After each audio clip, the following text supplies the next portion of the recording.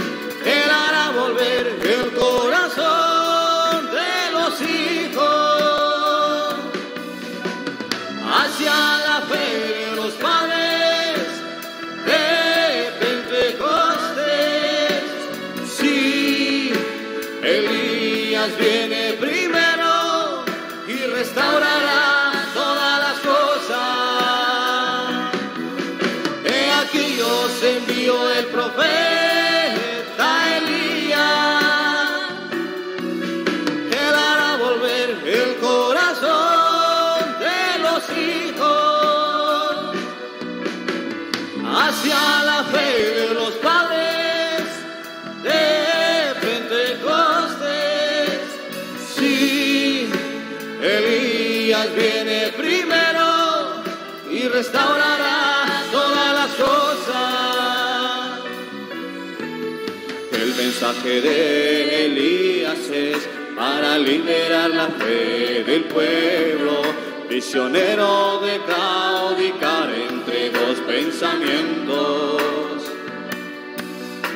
sacando de escena el nicolaísmo y palanismo, y después de la gran sequía por causa de acá y Jezabel, traer de regreso lluvia temprana y lluvia tardía, y mi pueblo nunca jamás será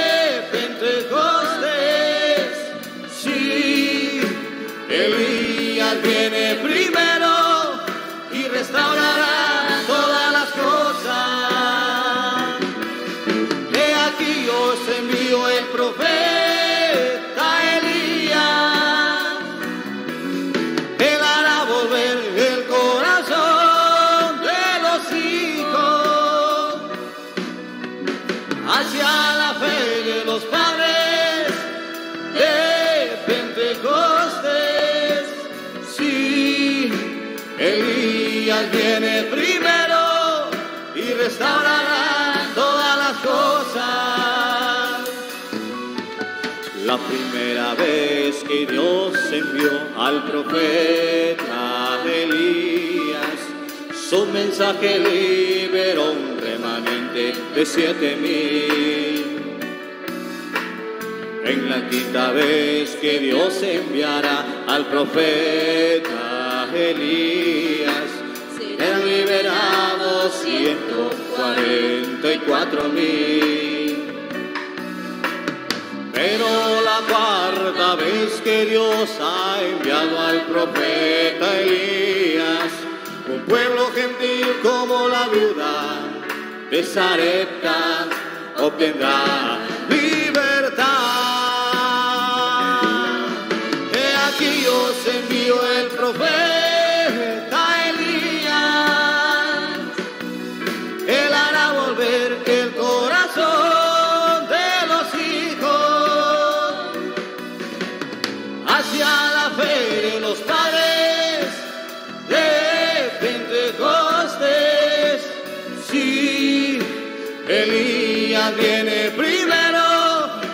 Y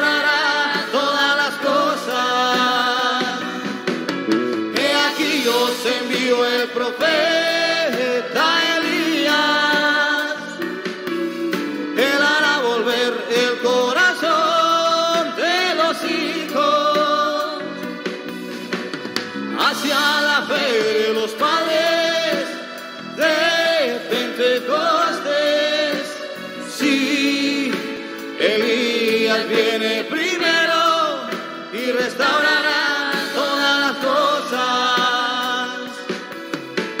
El mensaje de Elías es para liberar la fe del pueblo, prisionero de claudicar entre dos pensamientos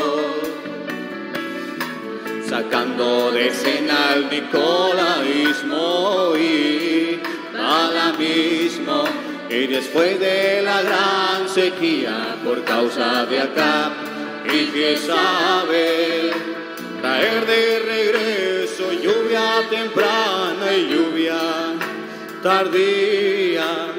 Y mi pueblo nunca jamás será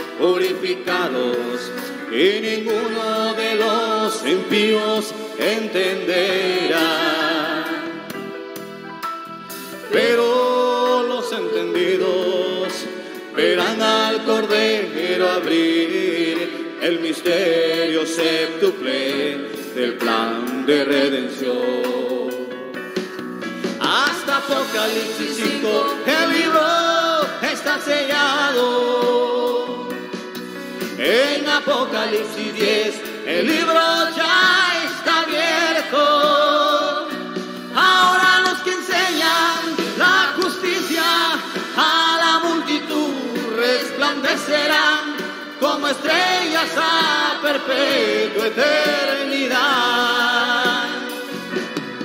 Hasta Apocalipsis 5 el libro está sellado.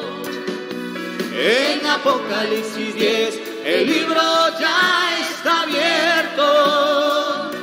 Ahora los que enseñan la justicia a la multitud resplandecerán como estrellas a perpetua eternidad.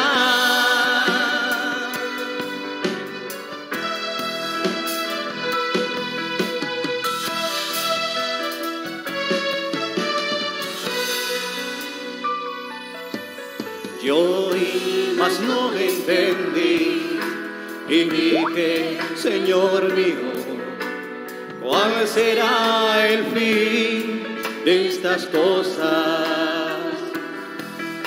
Dios dijo, Daniel, estas palabras están cerradas y selladas hasta el tiempo del fin.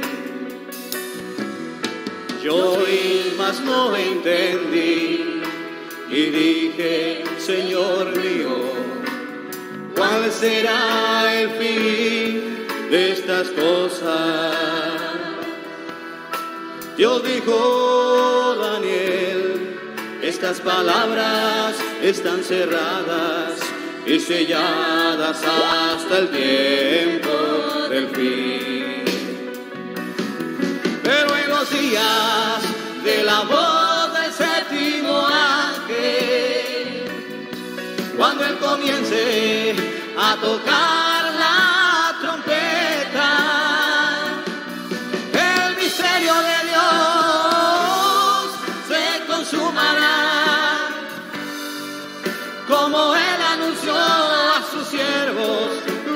los profetas. Pero en los días de la voz del séptimo ángel, cuando él comience a tocar la trompeta, el misterio de Dios se consumará, como él anunció a sus siervos, los profetas. Serán limpios, emblanquecidos, purificados, y ninguno de los impíos entenderá.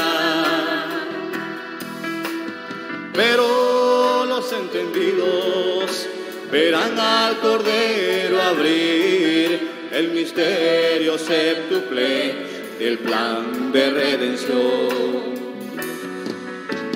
Muchos serán limpios, emblanquecidos, purificados, y ninguno de los impíos entenderá.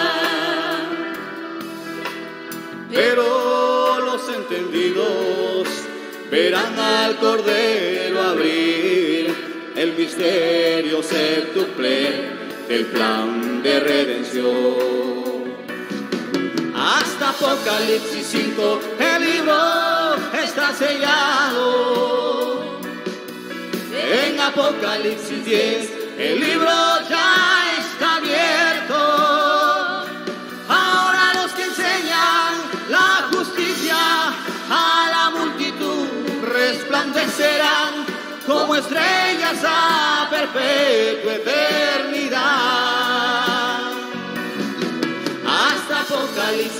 Apocalipsis 5, el libro está sellado.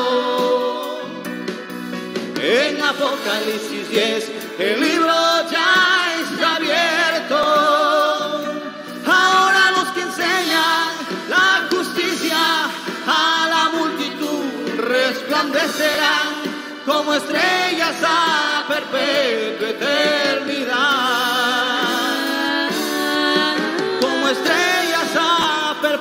Perpetua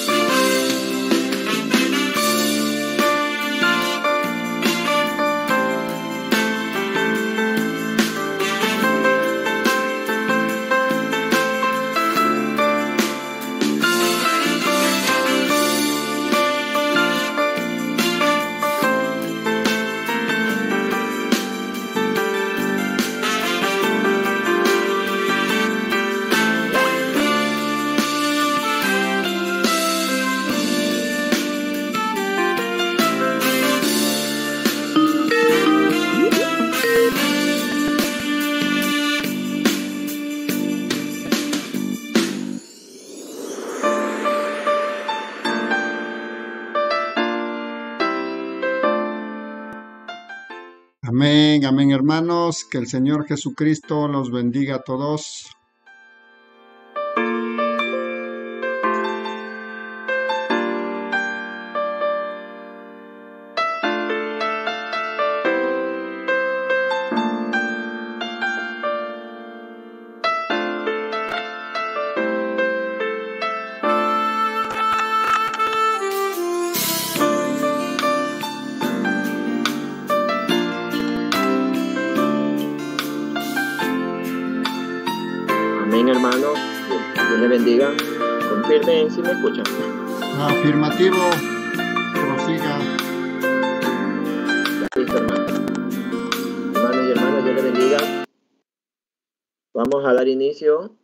De la palabra de Dios. Hermano José, ¿nos ayuda con la oración para empezar el compañerismo? Amén, amén, hermanos. Vamos a dar gracias por la vida que nos ha permitido estar hasta estos últimos tiempos. Gracias, Padre Celestial, por tu palabra perfecta, por tu mensaje glorioso que tú has enviado, Señor. Gracias por haber enviado a ese profeta gentil para este mundo caído, Padre. Tú dijiste en Filipenses 1.6, estando persuadido de esto, que el que comenzó en vosotros la buena obra, la perfeccionará hasta el fin hasta el día de Jesucristo. Oh Padre amado. Entonces tú viniste en la cena, Señor, a través de tu Santo Espíritu incrustado en el profeta, este profeta del séptimo ángel, Señor, que era un misterio que estaba guardado para sabios entendidos, pero tú la revelaste para los niños que quieran aprender, Señor. Eh, Apocalipsis 17 estaba en la escena, Señor, pero ya se fue. Quedaron más de 1200 folletos donde tenemos que comernos, Señor, y, vemos que el libro está abierto y permite hacer como hizo Josías. Él invitó a muchas personas para que conozcan el libro abierto, ese libro que se encontró, Padre. Nosotros, tipificando eso en lo genuino, Padre, ayúdanos, permite, Señor, hacerlo de la mejor manera, Señor, oh Padre amado. Nos acercamos a ti muy respetuosamente con mucha reverencia, sabiendo de que es tu, tu palabra perfecta, Señor. Iniciamos este compañerismo a través de la lectura de, de tu mensaje, tu palabra, Padre amado. Úngenos, Señor, con tu Santo Espíritu y permite, Señor, entrar en la escena rápidamente de tu palabra, Señor, porque ya no hay tiempo, Padre. Te lo pedimos, Señor, en el nombre del Señor Jesucristo. Amén, hermanos y hermanas, que el Señor Jesucristo Dios bendiga.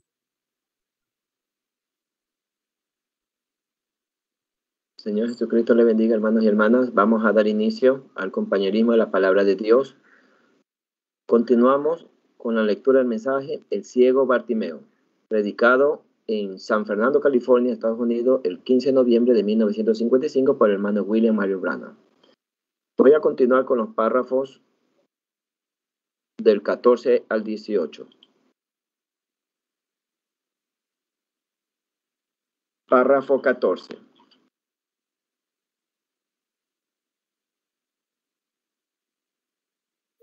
Suena demasiado contundente. Una dama que estaba sentada no tan lejos como la que está, esta dama sentada en la silla de ruedas. Dio a luz un bebé, estando sentada allí, y solo lo recogió. Y eso fue todo. ¿Ven? Y ellos no se fijan en eso, entre las tribus. Pero esa gente sencilla nunca lo cuestiona, nunca lo cuestiona.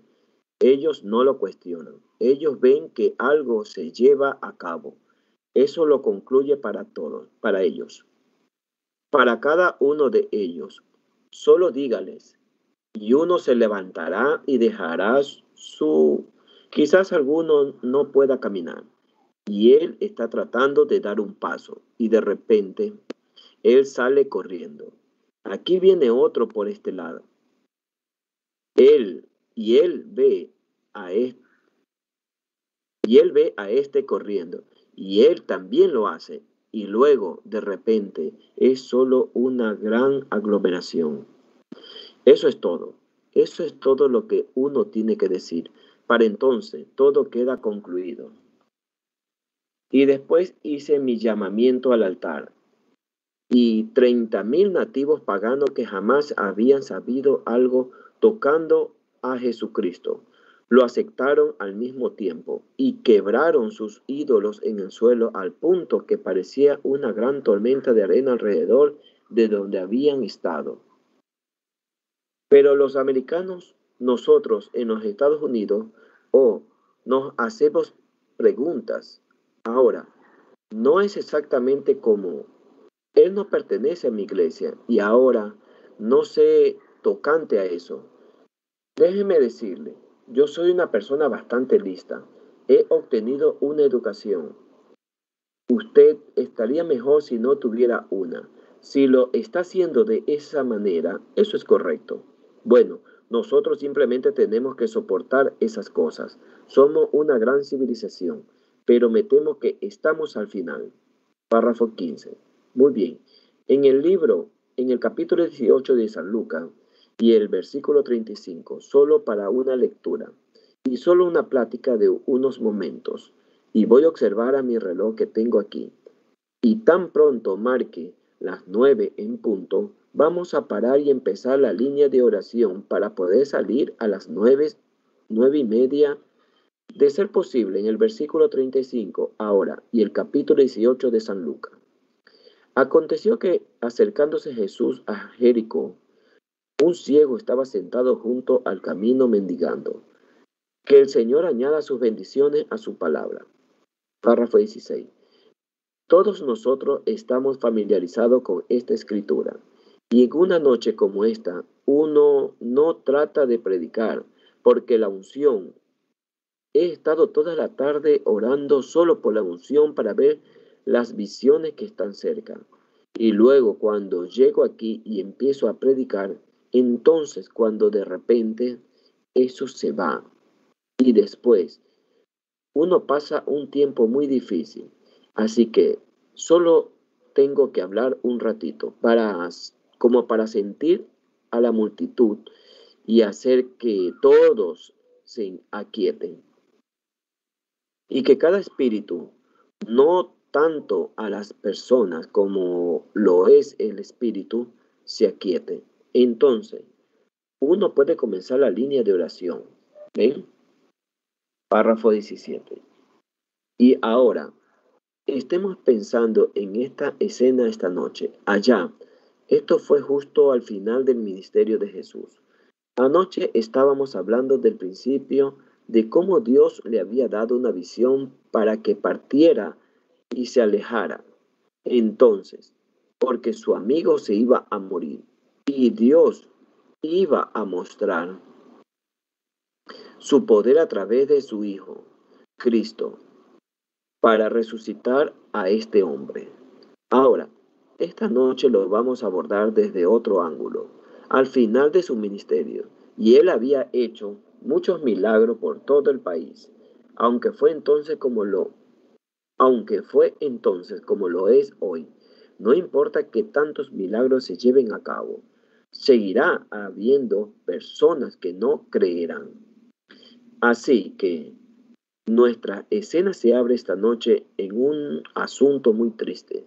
Es un ciego, es un hombre ciego, y él está sentado allí en cunclillas. Párrafo 18. Vamos a imaginarnos a medida que Dramaticemos el acontecimiento e imaginemos que el sol se está ocultando. Son después de las 3 de la tarde, quizás, y los muros altos y grandes de Jericó, pues este hombre ciego se encuentra agazapado al costado de estos muros. Y, y se nos dice que él era un mendigo y su nombre era el ciego. Su nombre era Bartimeo. Muchos de ustedes lo pronuncian Bartimeo. De cualquier forma estará bien. Y él era, sus, sus posibilidades tal vez le costaba mucho ganarse el sustento diario. Y los historiadores nos enseñan que él era el, un hombre casado, tenía una familia, pero él le costaba mucho ganarse la vida porque mendigaba, y había muchos mendigos en aquellos días. Había los leprosos, eran mendigos. Oh, esa horrible plaga de lepra. Casi nadie puede pasar al lado de eso sin sentir una extraña sensación. Yo los he visto. Solía pensar que la lepra era contagiosa, pero uno podía contagiarse, pero no se contagia pero no sé contagiar la letra de uno a otro. Yo los he abrazado y los he besado y todo lo demás, así que ustedes no se pueden contagiar de lepra el uno al otro. Es por causa de la dieta. Y yo he tenido al leproso sin nada más que solo clavijas por brazos de esa manera, moviendo sus pequeñas clavijas alrededor, tratando de abrazarme en la línea de oración y cosas, pobres ancianas en las calles, y en algún lugar, y en algún momento la lepra se come los dedos de los pies hasta el punto que sobresale como una gran verruga, más o menos así de grande, muy blanca, pero solo, oh, cuadros horribles de lepra. Qué cosas tan horrible es tenerla. La ciencia médica aún no tiene el remedio para eso. Y es algo muy horrible. No es algo doloroso, pero es. Da lástima ver a alguien a quien se le ha caído las manos y demás. Y tal vez parte de su cara y sus orejas están comida con lepra y se ve blanca. Es un cuadro espantoso. Y había muchos leprosos en esos días.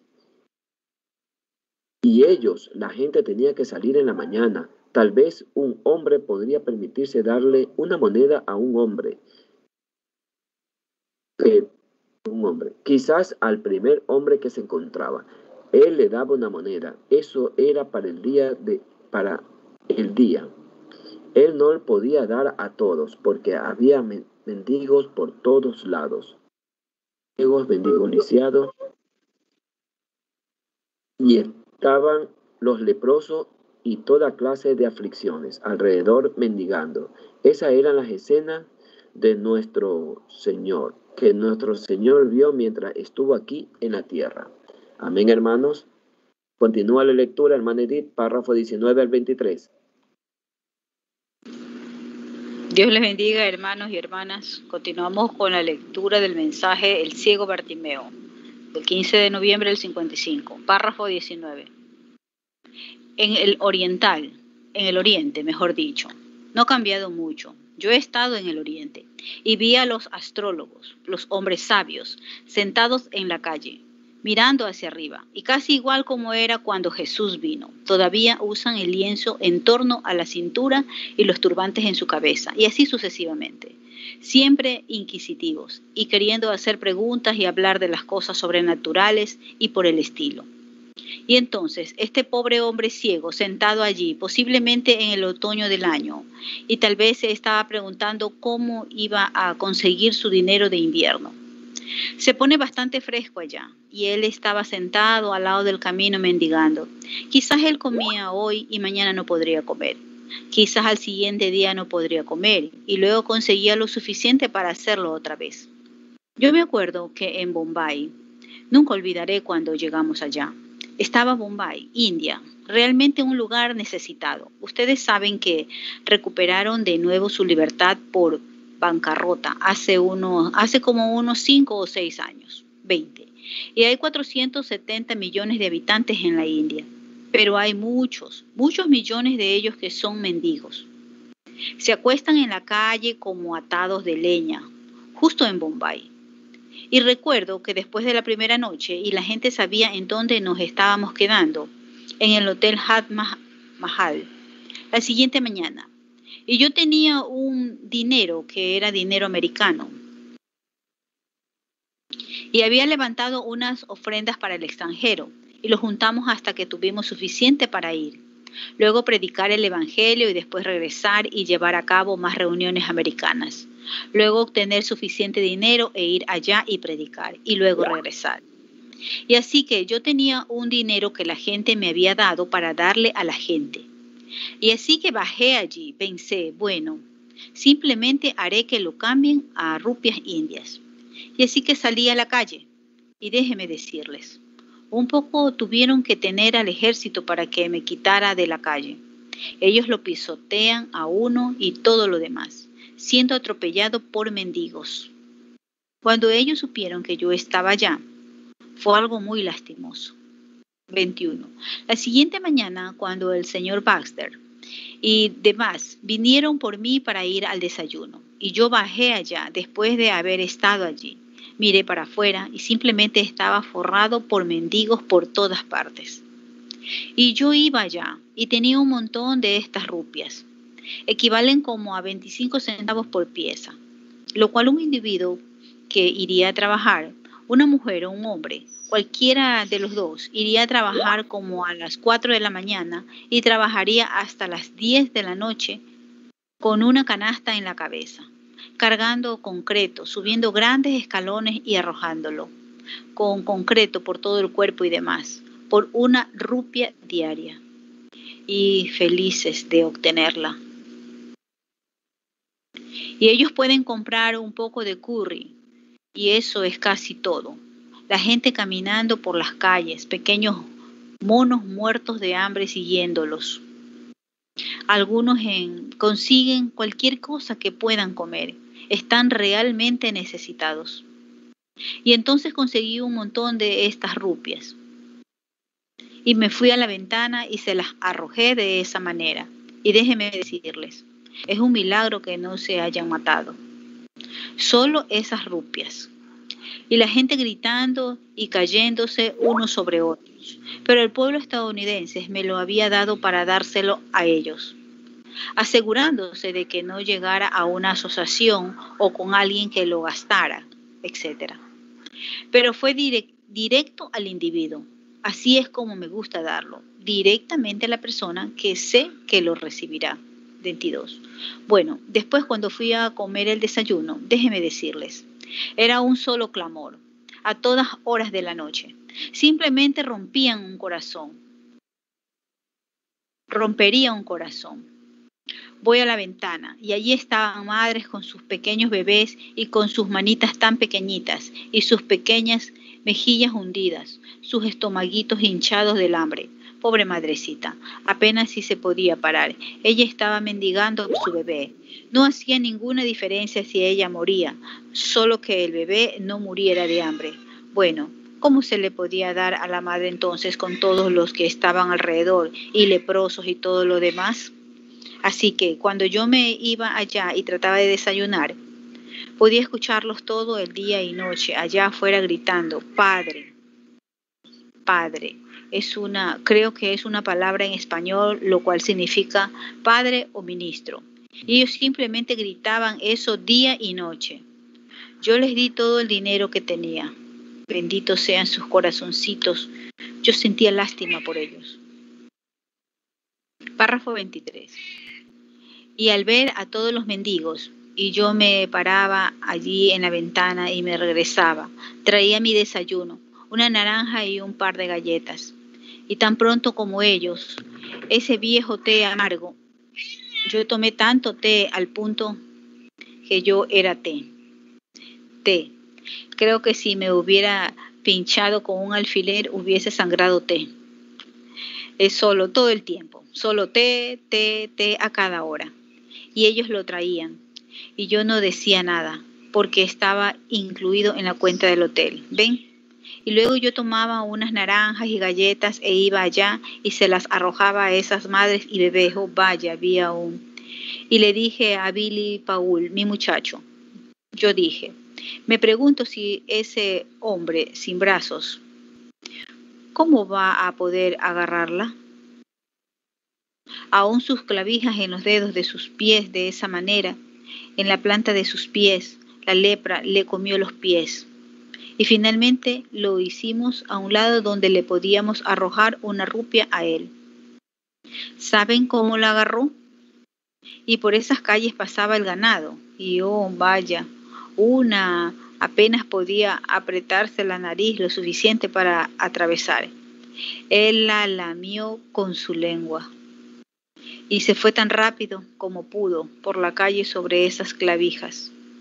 Este hombre quizás se conseguiría un poco de curry elaborado con patas de oveja y por el estilo para comer. Hermano, déjeme decirles, yo soy un ser humano. Eso casi me mataba al ver a esos pequeños bebés y yo pensé, misericordia, oh Dios, ¿cuánto más durará? Amén. Dios le bendiga, hermanos. Dios le bendiga, hermana. Continúa la lectura, hermano José, párrafo del 24 al 29.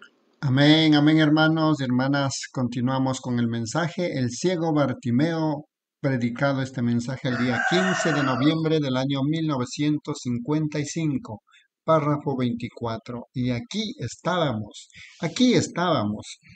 Salíamos lo suficiente aquí a un callejón para alimentar a la gente. Apenas pero fíjense en esto. Yo sé que esto está afuera de lo marcado de mi tema. Les quiero decir algo, solo soltarles esto. La semana pasada yo iba a predicar, pero solo quiero decir esta palabra. Miren, nosotros vamos para allá y le decimos a ese hombre que él es nuestro hermano. Muy bien, ¿qué hacemos? Los mandamos allá y él ve al hombre americano bajarse de su carro, del barco, y conduce un excelente y gran auto por el lugar. Él se sienta en un pequeño charco de barro, unos cuantos tallos de algo que él tiene plantado allí. Sus nietos, su tatarabuelo creció en ignorancia. Su padre, allí está él. Sus hijos vienen de la misma forma. Su esposa lavará en ese charco y él saca un poquito de beber del mismo charco. Y si somos hermanos iguales, ¿por qué es que uno viene tan bien vestido? Y me da vergüenza decirlo, pero muchas de las veces es entrometido y lo lastima. Y luego intenta hablarle del cristianismo. Eso lo cuestiona. Párrafo 25. Ahora, ¿qué ha sucedido? El comunismo ha ido y le ha dicho que todo es falso y dándoles una falsa economía ya, pero dándoles una esperanza diciendo, sí, de esa manera ellos lo hacen. Ese es el capitalismo y demás, y cuando menos se lo imagina. La razón por la que ha sucedido eso es porque nosotros colocamos nuestro dinero en latas de cerveza y botellas y cosas como esa. Y, las, y los misioneros tienen que vivir de maratones del centavo que llevan hasta el altar aproximadamente a cada mes. Y hermano, nosotros sembramos y vamos a cosechar lo que hemos sembrado. Solo recuerden eso, seguro. Oh, vaya, mendigos. Puedo ver al viejo ciego Bartimeo sentado ya al lado de la puerta. Vamos a mencionarlo unos momentos, solo como ese, como individuo. Imaginémonos, imaginémonos de lo menos sentado allí y que podemos captar lo que estaba pensando. Me imagino que él estaba sentado allí temblando, el viento, sus mangas harapientas colgándole. Él no puede ver. Si acaso pudiera operarse de su ceguera, pues él no tenía el dinero para hacerlo. Tal vez no podían hacer nada por él, los doctores, porque me supongo que era algo demasiado grave para ellos, y especialmente en aquellos días. Entonces él estaba temblando. Párrafo 26. Y me lo imagino a él siendo un creyente, él se pondría a recordar, ¿saben algo? Estoy sentado justo en este muro. Y como a unas 100 yardas, 91 metros, de donde él se encontraba, era el mismo camino donde muchos años antes de eso, el gran guerrero Josué marchó alrededor de los muros cuando los muros cayeron a tan solo unas cuantas yardas de allí, en donde Josué avanzando un día hacia la entrada, estaba el capitán del ejército del Señor con su espada levantada. Pero por desgracia esos días ya pasaron. El mismo Jericó donde estaba sentado este hombre ciego. Me puedo imaginar a Bartimeo diciendo, oh, si tan solo hubiera vivido en aquel entonces, cuando Jehová era real para la gente, cuando Jehová en verdad hizo milagros para nosotros, pero los días pasaron, dice el sacerdote. Eso fue hace cientos de años atrás. Jehová no hace esas cosas hoy. Y luego también, justo en ese mismo camino, Elías y Eliseo venían bajando abrazados, camino al Jordán donde hirió las aguas y las aguas se apartaron a uno y a otro lado, y ellos caminaron por tierra seca. Párrafo 27. Me puedo imaginar al ciego Bartimeo diciendo, oh, si tan solo hubiera podido vivir en aquel día cuando los grandes y poderosos profetas pasaron esa carretera. Yo me hubiera acercado a ellos y le hubiera dicho, profeta de Dios, ten misericordia de mí y devuélveme mi, mi vista. Pero por desgracia el sacerdote dice, esos días de los milagros ya pasaron. Así que ya no los tenemos, por alguna razón. Es como si ellos estuvieran diciendo que Jehová ha perdido toda su fuerza.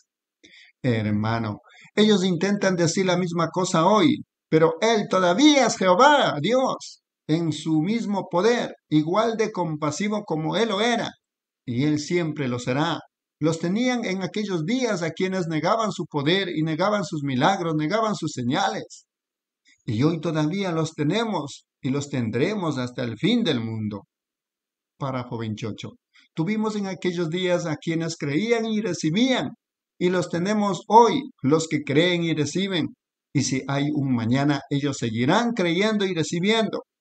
Jesús dijo, yo caminaré al lado de vosotros hasta el fin del mundo. Amén. Yo estaré con vosotros, un acompañante, un conciudadano con ustedes. Yo caminaré con vosotros. Yo los guiaré en la senda que habéis de caminar si tan solo me lo permiten. Yo amo eso. Yo estaré con vosotros hasta el fin del mundo, hasta que todo termine. Yo estaré con vosotros. Noten, luego él pensó, oh, si tan solo hubiera podido vivir en los días cuando los milagros eran reales. Aquí estoy fuera del alcance de los doctores, soy un mendigo pobre, yo tengo una familia en casa, tal vez este día no consigna ni una moneda. Mis hijos tienen hambre y mi, y mi esposa, yo sé que ella tiene hambre y yo no tengo otra forma de ganarme la vida. Oh, si tan solo pudiera ver, me conseguiría un trabajo en un campo de trigo en alguna parte, pero no puedo ver. Párrafo 29 por último. Ahora, me imagino que al estar él sentado allí, Dios comenzó a lidiar con su corazón y a prepararlo para algo. Él ni se imaginaba que tan solo a la vuelta de la esquina estaba la fuente de vida. Aleluya. Solo a la vuelta de la esquina. Cuando uno se pone a pensar en sanidad divina, cuando empieza a pensar en Cristo, manténgalo a Él en su mente si hay algo digno de alabanza, si hay alguna virtud. La Biblia dice, en esto pensar. Entonces le vino esto al pensamiento.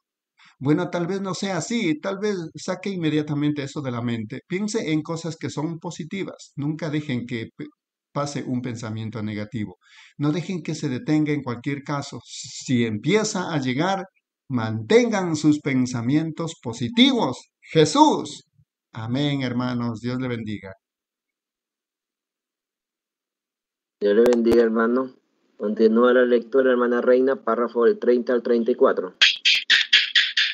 Amén. Dios les bendiga, hermanos y hermanas. Continuando con la lectura del mensaje, el ciego Bartimeo. Párrafo 30. No piensen sentado aquí en una silla de ruedas, usted, que no tiene esperanza, desvalido, porque usted no lo está.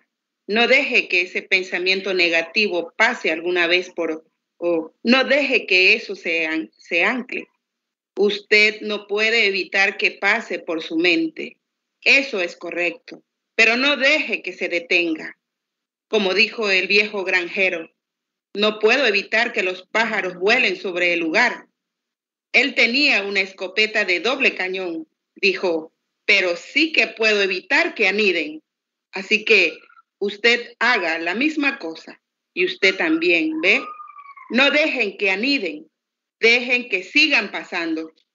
Ahora, aquí está una escopeta para que la usen. Ambos, el Nuevo y el Antiguo Testamento, es de doble cañón, muy eficaz también Déjenme decirles, los mantiene a todos esos alejados. Muy bien. El ciego Bartimeo, sentado allí con todas estas cosas pasando por su mente, si tan solo hubiera estado aquí cuando los grandes profetas venían por el camino y bajaron hacia el Jordán, yo los hubiera detenido por unos momentos para una pequeña charla y pedido que oraran por mí y yo creo que Jehová me habría dado mi vista. Párrafo 31. Ahora, de repente, él escucha un ruido. Ustedes saben, es extraño. Regularmente cuando Jesús está cerca, hay un poco de ruido alrededor. Ustedes saben, a mí como que me gusta eso. Un poco ruidoso, ustedes saben. Ustedes saben, la única forma que tenían de saber si Aarón estaba vivo cuando entraba detrás del velo al lugar santísimo, él tenía en el borde de sus vestiduras, él tenía una granada y una campana. Y esa es la única forma que tenía de saber si él estaba vivo o no. Él estaba haciendo un ruidito allí adentro. Y me temo que necesitamos una granada y una campana otra vez. Sí, solo un poquito de ruido. Y entonces, regularmente donde Jesús estaba, si no estaba alguien gritando allí, estaba alguien discutiendo tal vez con él, alguna clase de ruido aconteciendo. Así que a la vuelta de la esquina venía un ruido y de repente todo el lugar comenzó a tomar vida con la gente y el viejo mendigo estaba sentado al lado del muro. Y al parecer, a lo lejos, probablemente el doble de la distancia de esta carpa aquí era donde el camino bajaba por Jericó. Párrafo 32. Y por ese camino era quizás donde estaba el ruido. y la gente estaba pasando y algunos de ellos estaban gritando, fuera con él, fuera con él. Y el sacerdote vociferando, tú, hipócrita, no eres nada. Y alguien gritando, Hosana, Hosana. Oh, una multitud mezclada. Pero entre ellos venía el mismísimo capitán del ejército del Señor, que se había encontrado con Josué. ¿Acaso no es él el capitán del ejército? Amén. Él era el ángel del pacto, la columna de fuego que guió a los hijos de Israel. Y aquí estaba él. Y aquí venía de nuevo cuando la gente estaba diciendo, los días de los milagros ya pasaron, no hay esperanzas. Aquí venía el capitán del ejército del Señor, pasando justo a tiempo. Él siempre llega a tiempo. Amén. Párrafo 33. Aquí está Él, va pasando. Por supuesto, el hombre ciego, Él no sabía. Me lo puedo imaginar escuchando, moviendo la cabeza, viendo si podía escuchar mejor de ese oído, cuando de repente alguien lo pisó y demás y lo empujó. Lo puedo escuchar a él decir, ¿de qué se trata todo el ruido? Nadie le prestaba atención y seguían adelante. Él estaba escuchando a alguien. Fuera con él. Regresa a Nazaret, donde perteneces. No te necesitamos aquí en esta región. Regrésate. Toda clase de ruidos. Alguien más gritando, Él es el Señor del ejército. Osana, Osana en las alturas las multitudes, uno gritando, probablemente aventándole a él fruta podrida y todo lo demás. Pero Jesús, caminando delante de la multitud, oh vaya, su rostro mirando hacia los cielos. ¿Qué le esperaba? Yendo directamente a Jerusalén para morir por los pecados del mundo, siendo quien era él, el Hijo de Dios, el rey de todos los profetas, y sabiendo que eso estaba por delante, su mente, por supuesto, estaba en eso. Él no estaba escuchando el grito de la multitud, fuera con esto y fuera con eso y Osana. Él no podía escucharlo. Sus discípulos tenían dificultades para evitar que un disturbio llegue a él. Algunos trataban de tocarlo para ser sanados, a otros les gustaría abofetearlo o golpearlo con algo para derribarlo y los discípulos continuaban empujándolos. Jesús, en esa caminata fría, tranquila y estable por el camino, en su camino con su rostro hacia su Padre Celestial, caminando como un hijo obediente correctamente, y mientras camina, todos gritando. Párrafo 34. Creo que allí estaba una amable señora, tal vez cuando el ciego Bartimeo dijo, pues, ¿de qué se trata todo ese ruido? Yo estaba pensando de qué trataba todo ese ruido.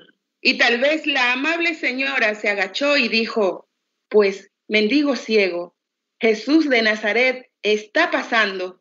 Oh, surgieron nuevas esperanzas. ¿Qué era? Algo él no podía verlo, pero en cada sentido que tenía del oído, la vista no es siempre, el ver no es siempre creer. Algunas veces el oír es creer. La fe viene por el oír, no por ver, por el oír. Amén. Alguien le dijo que Jesús de Nazaret, oh, ¿es ese el profeta que está allá atendiendo a los enfermos? Bueno, debe serlo dijo la señora, algunos de ellos gritando y diciendo, mi bebé fue sanado por él. Otro hombre que iba caminando diciendo que él era lisiado, él estaba cargando unos palos con los cuales solía caminar, pero el sacerdote pensó, oh, él dijo, deténganlo por mí. ¿Detenerlo? Pues uno no puede detenerlo a él. Mírelo, él va subiendo allí por el camino.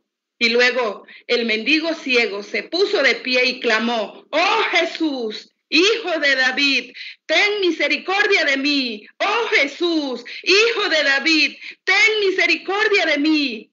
Ahora, ustedes saben, con toda esa multitud que se arremolina, agitada y discutiendo, y Jesús con su rostro vuelto hacia los cielos, caminando directamente al Calvario para ser crucificado con las cargas de todo el mundo sobre su hombro. Él nunca hubiera escuchado a ese pobre hombrecito delgado allá atrás, a lo lejos, al lado de ese cerco o al lado de ese muro gritando, ten misericordia de mí, cuando estaban gritando de todo. Y luego, él así, subiendo por el camino, el ciego Bartimeo tratando de decir, oh, uno de ellos dijo, cállate.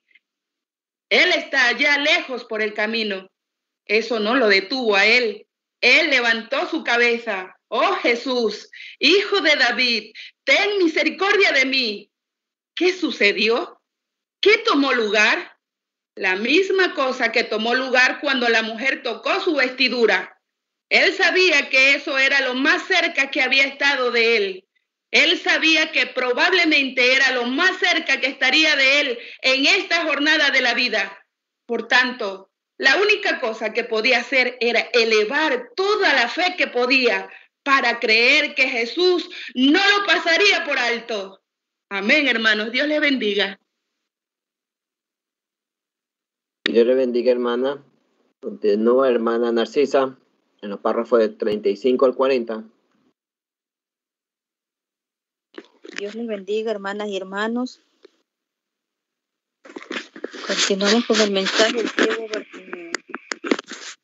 Bartimeo, dedicado el 15 de noviembre de 1955, párrafo 35. Su fe detuvo a Jesús de Nazaret, camino a Jerusalén. De repente, mientras él caminaba, se detuvo, miró alrededor. ¿Qué fue eso? con el Calvario en mente, con los pecados del mundo sobre sus hombros, con los gritos de la multitud de ambos partidos, un pobre mendigo analfabeta. La fe que ese hombre tenía lo detuvo en sus pasos, y él se da la vuelta, lo mira y dice, ¿qué quieres hacer? Entonces él dijo, Señor, que yo, ¿qué quieres que te haga? Él dijo, que reciba mi vista. Él dijo, tu fe te ha sanado. Lo puedo ver a medida que él se da la vuelta, subiendo el camino. El ciego, el viejo ciego Bartimeo parado allí diciendo, me dijo que estaba sanado. Lo veo tratando de ver su mano. Dijo, ¿ha escuchado a alguien decir, oh, no hay ninguna diferencia contigo? no estás diferente. Párrafo 36. Pero, pero, pero él me dijo, él me dijo que yo, después de un rato, la luz del día comienza a brillar alrededor de él, cuando de repente él puede ver sus manos. Aquí viene por la calle, y a la sanado, su fe tan grande al punto que detuvo a Jesús de Nazaret y tuvo una conversación con él. Y un mendigo ciego con casi nada de ropa puesta que escondiera su piel pudo parar. Quizás un hombre que no podía ni siquiera escribir su propio nombre. Y su fe pudo detener a Jesús de Nazaret en una multitud de gente clamando por su sangre con una carga en su corazón y sabiendo que la muerte estaba delante de él en el Calvario. ¿Cuánto más debería la fe suya detenerlo a él esta noche y traerlo a sus necesidades individuales? Aleluya. Párrafo 37. Oh, vaya, estaba leyendo una pequeña historia sobre él. No hace mucho. Quizás solo tenga un minuto o dos para contarla. Dijeron que él tenía una pequeña, una niña pequeña. Él nunca la había visto y él siempre oraba el poder y él siempre oraba el poder ver a, la niña. Y ellos me dicen que ese ciego Bartimeo tenía un par de pequeñas palomas que hacían pequeños trucos. Tenían que hacer algo para llamar la atención de la gente. de los transeúntes. Había tantos mendigos o ellos no hubieran conseguido nada en absoluto. Pero si ellos podían tener estas dos palomitas para que hicieran pequeños saltos la una sobre la otra, que ahora, entre paréntesis, ahora, la historia bien pudo haber sido ficticia, que hicieran pequeñas volteretas una sobre la otra, pues eso haría que la gente se detuviera y observara a las pequeñas palomas. Entonces se pondrían a pensar, oh bueno, le daré, le daré una moneda.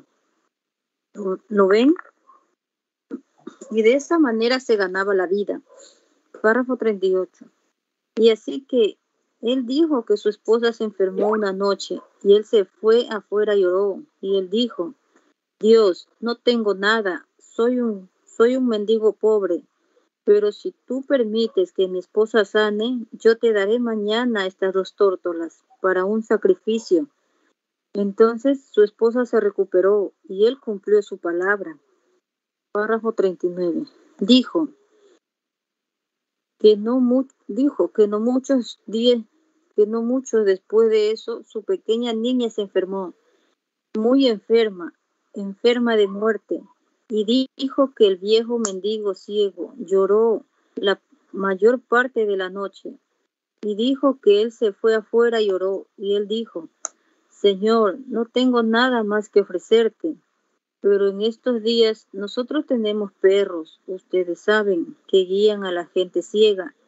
Ellos dicen que él tenía un cordero entonces, que le ponían un arnés al cordero y lo entrenaba para que guiara a la gente ciega. Él dijo, Señor, solamente me queda una cosa y es mi cordero. Pero si tú tan solo, si tan solo tú sanas a mi niñita, y no permites que ella muera, yo nunca la he visto. Si tan solo permites que mi pequeña niña viva, yo te prometo que te daré mañana mi cordero como sacrificio. Pues él dijo, el Señor sanó a mi niñita. Párrafo 40. Al día siguiente, cuando iba de camino a llevar el cordero para el sacrificio, arriba al templo para que lo sacrificaran, Dijo que Caifás, el sumo sacerdote, estaba parado en el muro, y él le dijo, Ciego Bartimeo, ¿a dónde vas? Él dijo, Oh, sumo sacerdote, ¿es esa tu voz? Él dijo, Voy al templo a sacrificar este cordero. Dios sanó a mi niña pequeña y le prometí a él que yo le daría este cordero. Y el sumo sacerdote dijo, Oh ciego Bartimeo, no puedes sacrificar ese cordero mira, te voy a dar algo de dinero y ve, a, y ve a comprar un cordero en el mercado que está allá arriba y sacrifica ese cordero.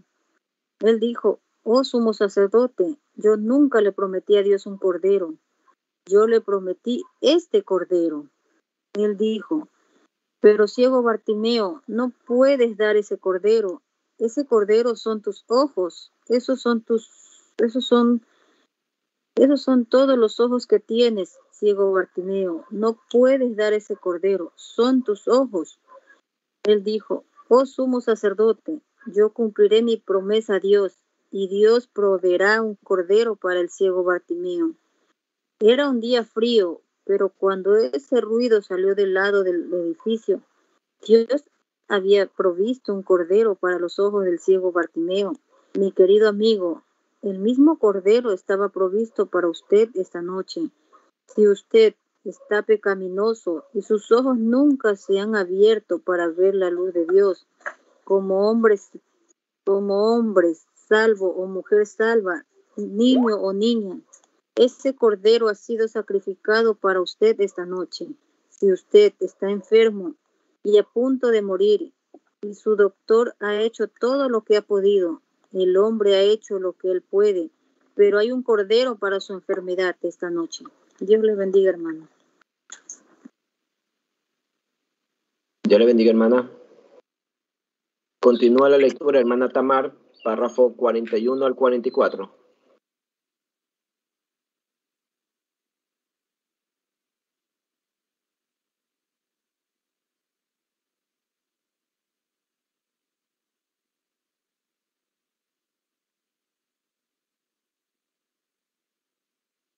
Hermana Tamar. Hermanos y hermanas, continuamos con el mensaje. El ciego Bartimeo. Del, del párrafo 41.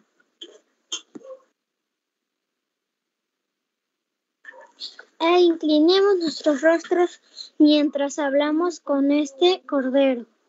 Oh Dios, se nos enseña en la Biblia que sobre el trono en la tierra de gloria estaba uno sentado quien tenía un libro sellado por la parte de atrás con siete sellos. Y el profeta lloró porque no había hombre digno de tomar el libro para desatar los siete los sellos, y estaba un cordero que vino, uno que había sido inmolado desde la fundación del mundo, y era digno de tomar el libro y de desatar sus sellos. El Cordero de Dios solo puedo imaginarme cuando el ciego Bartimeo supo que él, que él de alguna manera se había detenido o cuando llegó ante la presencia de su de su cordero provisto. Lo vemos ahora. No está tratando de doblar su saco y colocar con delicadeza para que pueda él. Bueno, si él no recuperar y no recupera su vista, pues entonces podrá ser capaz de encontrarlo. Se nos enseña que él arrojó, él arrojó su prenda y él sabía que la encontraría. Solo así llegó al cordero. Oh, ven, Cordero de Dios, quita las cegueras de los ojos de la gente esta noche, que se siente confiada porque Él se ha unido a una iglesia o porque ha sucedido algo físico. Dios permite que el amor de Dios se derrame en, su en sus corazones Concédelo, Señor, quita todas las condiciones de piedra y que el amor divino se derrame en sus corazones por medio del Cordero esta noche y sana a los enfermos porque lo pedimos en su nombre. Y mientras tenemos nuestros rostros, rostros inclinados, me pregunto si hay uno aquí esta noche que pudiera andar caminando a tiendas en la oscuridad de la iglesia sin saber qué rumbo tomar, ya sea, convertirse en un metodista o quedarse como presbiteriano o pentecostal, o usted simplemente no sabe qué hacer. ¿No quiere que Él le dé su vida espiritual esta noche bendiciéndole y quitándole a besos sus, sus dudas? Si usted es un pecador y quiere ser recordado en oración, solo levante su mano a Dios mientras todos están ahora orando. Yo voy a orar por usted y que el resto de la congregación lo hará también. ¿Levantaría su mano alguien que necesita a Cristo esta noche? ¿Él sabe que necesita a Cristo? ¿Levantaría su mano? Yo no conozco su corazón. Dios sí, pero el Cordero pasó por Jericó ese día. Dios le bendiga allá atrás, mi querido hermano. Dios le bendiga. Sí. Ya usted, mi hermana, ¿alguien más que levantará su mano? Dios le bendiga. Mi hermana y la veo allá atrás. Dios le bendiga, mi hermano sentado cerca del poste allí. Dios le bendiga aquí a mi izquierda. Sí, sentado cerca del poste allí otra vez, otro hombre. Jesús, hijo de David, ten misericordia de mí. Yo sé que tal vez yo esta pudiera ser mi última noche en la tierra. Yo tendré que encontrarme contigo. He sido negligente negligente, en realidad no estoy seguro de la salvación de mi alma. Quiero que tú te acuerdes de mí, Dios, en este momento, que en esta reunión. Quiero que tú me salves esta noche y que en verdad arregles mi bien corazón. en mi corazón para que cuando la muerte me impacte y sienta mi pulso subiendo por mi magna y yo presione una, una almohada de muerte, el doctor saldrá por la puerta y dirá, no hay nada más que se pueda hacer. Esta, él está acabado.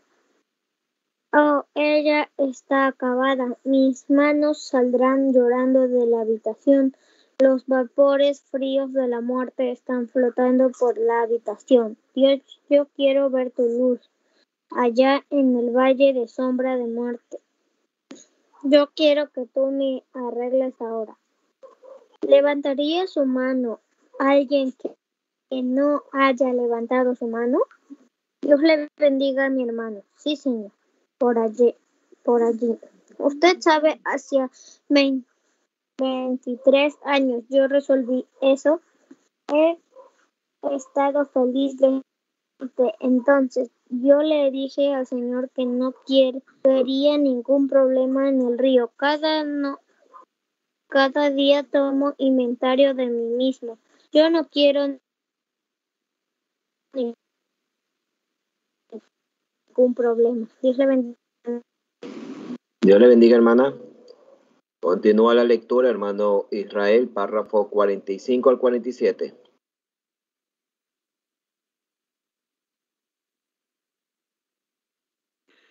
Hola, hermanos, continuamos con el mensaje y sigo Bartimeo de párrafo 45.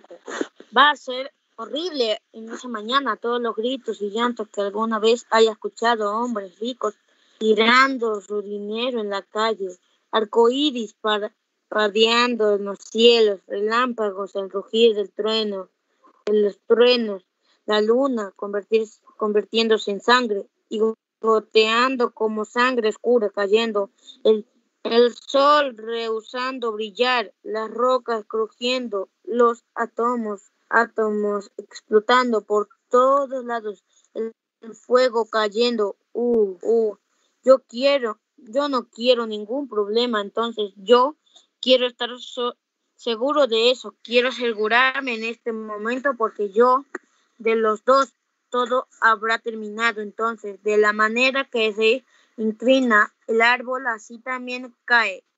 ¿Hay algo más antes de cerrar y tener la oración? Usted sabe, Dios conoce su corazón. No confíe en la tecnología, no confíe en un Dios, no confíe en un conocimiento intelectual. Si usted no ha tenido una verdadera experiencia con Reina, en su corazón, no se arriesgue, amigo. Recuerde, se lo digo en el nombre de Jesús, del Señor Jesús, del Señor hermano, Hermano Israel. ¿Me escucha, hermano? Sí, se, te, se saltó una línea. Le hace desde Dios conoce su corazón, por favor. Dios conoce su corazón, no confíe en la, en la tecnología, no confíe en un conocimiento intelectual si usted no ha tenido una verdadera experiencia con Dios y sabe que ha pasado de muerte a vida, que es amor, que ese amor divino de Dios reina en su corazón. No es, no se arriesgue, amigo. Recuérdese, recuerde, se lo digo en el nombre del Señor. Nada más funcionará. O usted dice, yo prediqué el evangelio. Eso no me interesa, eso no interesa. Yo eché fuera demonios, he llevado a cabo servicios de sanidad. No, eso no interesa. Jesús dijo, muchos me dirán en aquel día, Señor, no predique en tu, no prediqué en tu nombre, profeticé y en tu nombre echamos fuera demonios e hicimos muchos milagros. Él diría, nunca os conocí, Apartaos de mí, hacedores de maldad.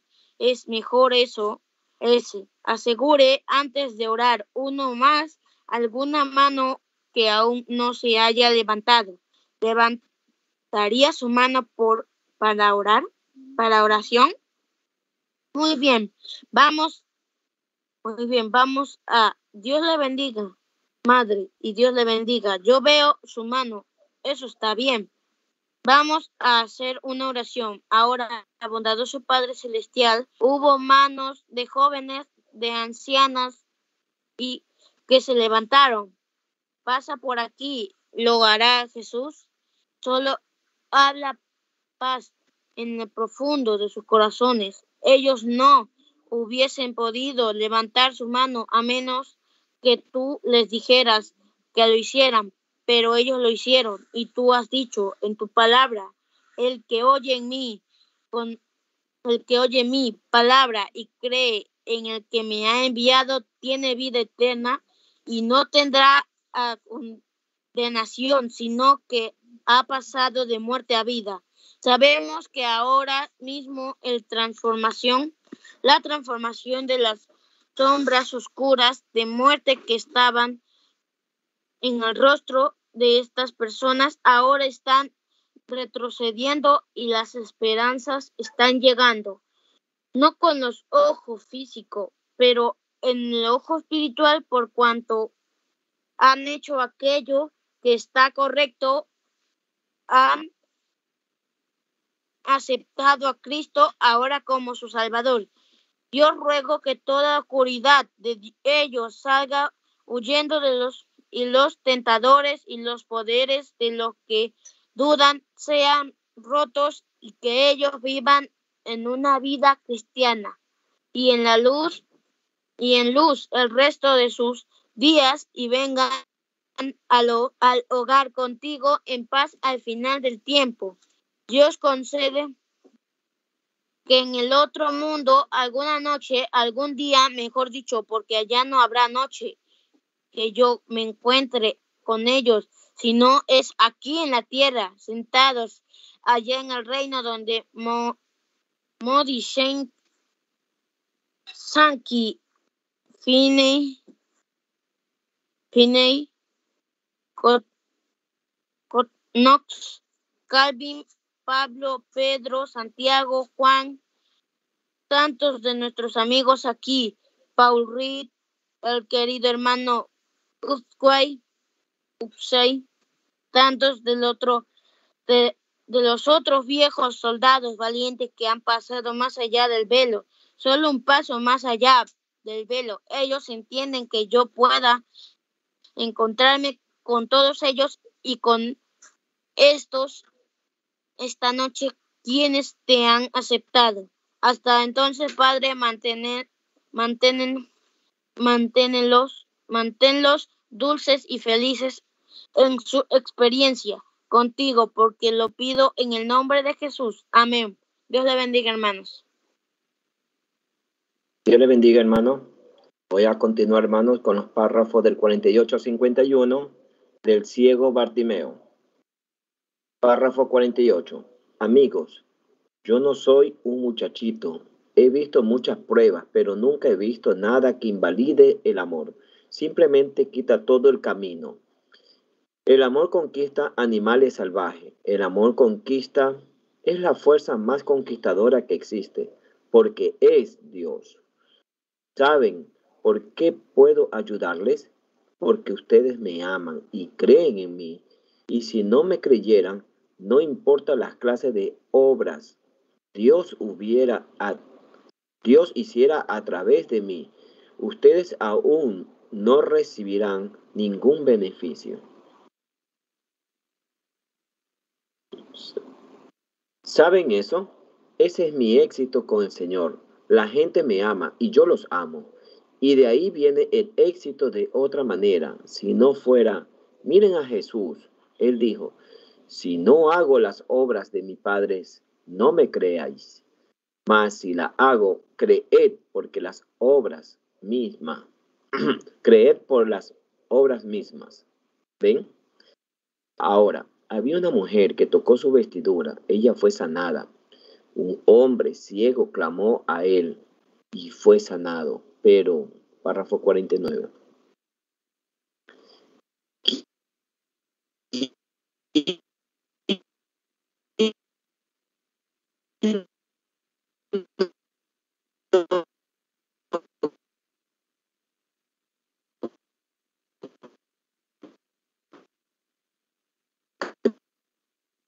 Todas las cosas. Dinos, ¿quién te pegó? Y nosotros te creemos si no lo dices ahora. Él nunca abrió su boca. No. Las obras de Dios no son para hacer payasadas. Jesús no vino a hacer payasadas en aquel entonces. Él no vino a hacer payasadas hoy. Satanás trató de tentarlo. Dijo, haz un milagro. Déjame ver que lo hagas. ¿No han escuchado a la gente decir eso? Déjame verte hacer algo. Déjame verte. Un hombre no hace mucho sin saber. Un hermano, cuando yo estaba predicando en Arkansas, dijo, yo haré por una sola evidencia física que muestre que una persona haya sido sanada de sanidad divina, pagaremos mil dólares. Nuestra iglesia, así que yo fui y conseguí como un par de doctores y como cuatro casos de cáncer que habían sido sanados. El doctor así lo decía. Y lo llevé a su casa. Yo dije, nosotros simplemente mandaremos eso a las misiones del extranjero. Cuando llegué a la puerta, oh, él dijo, ¿no es usted el reverendo Branham? Le respondí, yo soy. Él dijo, bueno, ahora usted tiene que ir a, Texas, a cierto lugar, y llevaremos a una niñita, y yo quiero que usted vaya entre mis hermanos. Dijo, yo no tengo el dinero. Yo dije, no, vine a recoger el dinero. Aquí están las personas que los doctores habían desahuciado y dicen que ellos tuvieron cáncer y nosotros oramos por ello y Jesús los sanó. Ahora, usted dijo en la radio que eso es lo que usted daría. Ahora, dénolos. Párrafo 50. Yo dije, aquí está una de las enfermeras de la clínica Mayo, un doctor de la clínica Mayo, uno de sus enfermeros, queremos, queremos recoger los miles de, los miles de dólares. Él dijo, bueno, ahora vamos a ir acá y llevaremos a una persona, una niñita, y yo le cortaré la mano con un cuchillo y luego usted la sostiene durante mi, delante de mis hermanos y la sana, y luego nosotros lo creeremos. Yo dije, hermano, usted lo que necesita es sanar de una deficiencia mental. Yo dije, eso en realidad es le dije, cualquiera que aún piense eso, hay algo mal aquí arriba. ¿Ven? Yo dije, es ese mismo espíritu viejo que dijo, baja de la cruz y te creeremos. El mismo espíritu viejo dijo, haz un milagro delante de mí y te creeremos. Yo dije, hermano, usted está, ruego que Dios, yo le amo. Y eso no es hipocresía. Le dije, pero yo le amo a usted y oraré que un día Dios tenga misericordia de su alma pecadora. Él dijo, yo no peco. Párrafo 51. Yo dije, ¿qué es pecado? ¿Qué es pecado? Es el único pecado que existe. Es incredulidad. Yo dije, sí, ciertamente es pecado. Ahora, Seamos pecadores incrédulos esta noche, pero juntemos nuestra fe y crean con todo el corazón. Lo harán mientras oramos durante los 15 o 20 minutos siguientes. Muy bien. El, entre el hermano Branham hace una pregunta. ¿Todavía tienen la letra A o la F? ¿Repartieron las letras de oración F? Hace un par de días Pensé que había 200 de ellas. Muy bien. Vamos a cambiar entonces esta noche de las tarjetas de oración con F. ¿Cuántas repartieron? 100. 100 con la F. Vamos a comenzar en... Esta noche vamos a comenzar con la 20. ¿Quién tiene la F20? Vean si yo... F20, 21. ¿Quién tiene la F21? Levante su mano. Vean si estamos bien ahora. Amén, hermanos. Continúa la lectura. El Manedit, párrafo 52 al 57.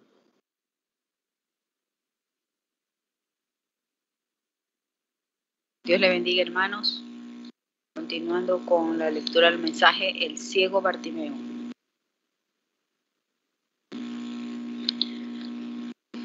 Párrafo 52. Miren la tarjeta de su vecino. Ellos pudieran ser sordos, mudos, quizás, Observen estas tarjetas en la parte de arriba y por el estilo. Y ¿Tiene usted una tarjeta de oración, dama? Sí, muy bien. ¿Tiene usted una tarjeta de oración allá? Muy bien. F21, 22, 23, 24, 25, 26, 27, 28, 29, 30. Ahora, permitan que se formen primero. Por aquí, muy bien, muy bien. Mientras están viniendo, ahora miren alrededor. Si hay alguien que no se pueda levantar, bueno, solo levante su mano y haremos que los sugieres los carguen hasta aquí, ¿ven? Muy bien, ahora viene siendo, pienso, del 20 al 30, ahora 31, 32, 33, 34, 35, permitan que sean los próximos en venir. Muy bien, eso sería del 20 al 35. Ahora, que sean los primeros en pararse ahora, F20 al F35. Ahora, veremos cómo se acomodan. Quizá podamos obtener algunos más y darnos cuenta ahora. 53. Ahora, quiero toda su atención ahora por unos cuantos minutos. Ahora escuchen, queridos amigos, esta es su reunión. Ahora, esta noche, hablando sobre esto, después de explicar los servicios de sanidad. Ahora recuerden, yo no creo que haya alguna virtud en ningún hombre para sanar a alguien. Yo no creo que haya poder en cualquier individuo que tenga que sanar a alguien con ello. Yo creo en los dos cosas que no se pueden hacer, que nadie puede perdonar pecados o sanar la enfermedad. Recuerden eso, nadie puede hacerlo, porque Jesús ya lo hizo en el Calvario y usted lo acepta como su fe personal en sus obras terminadas. ¿Creen ustedes eso? Digan amén. ¿Ven? 54. Ahora, Dios ha puesto algunas señales en la iglesia, primeramente a un predicador. Esa es la mejor señal, predicando la palabra. Ahora, si fuera yo, si usted no puede tomar mi palabra en ello, eso lo concluirá, pero no nuestro Padre. Luego él puso a otros en la iglesia, después de predicadores. Él pone maestros, él pone profetas, él pone dones de sanidad. Eso significa que ellos puedan sanar. Eso significa fe en sanidad. ¿Ven? Igual como predicando, de la misma manera, no es poder con el cual sanar. Cuando usted reclama que tiene poder por el cual sanar, entonces usted se lo quita al Calvario. Yo creo que si usted reclama eso, hermano, para mí, si yo estoy equivocado, perdóneme, pero de la manera que veo la escritura, eso ya está terminado.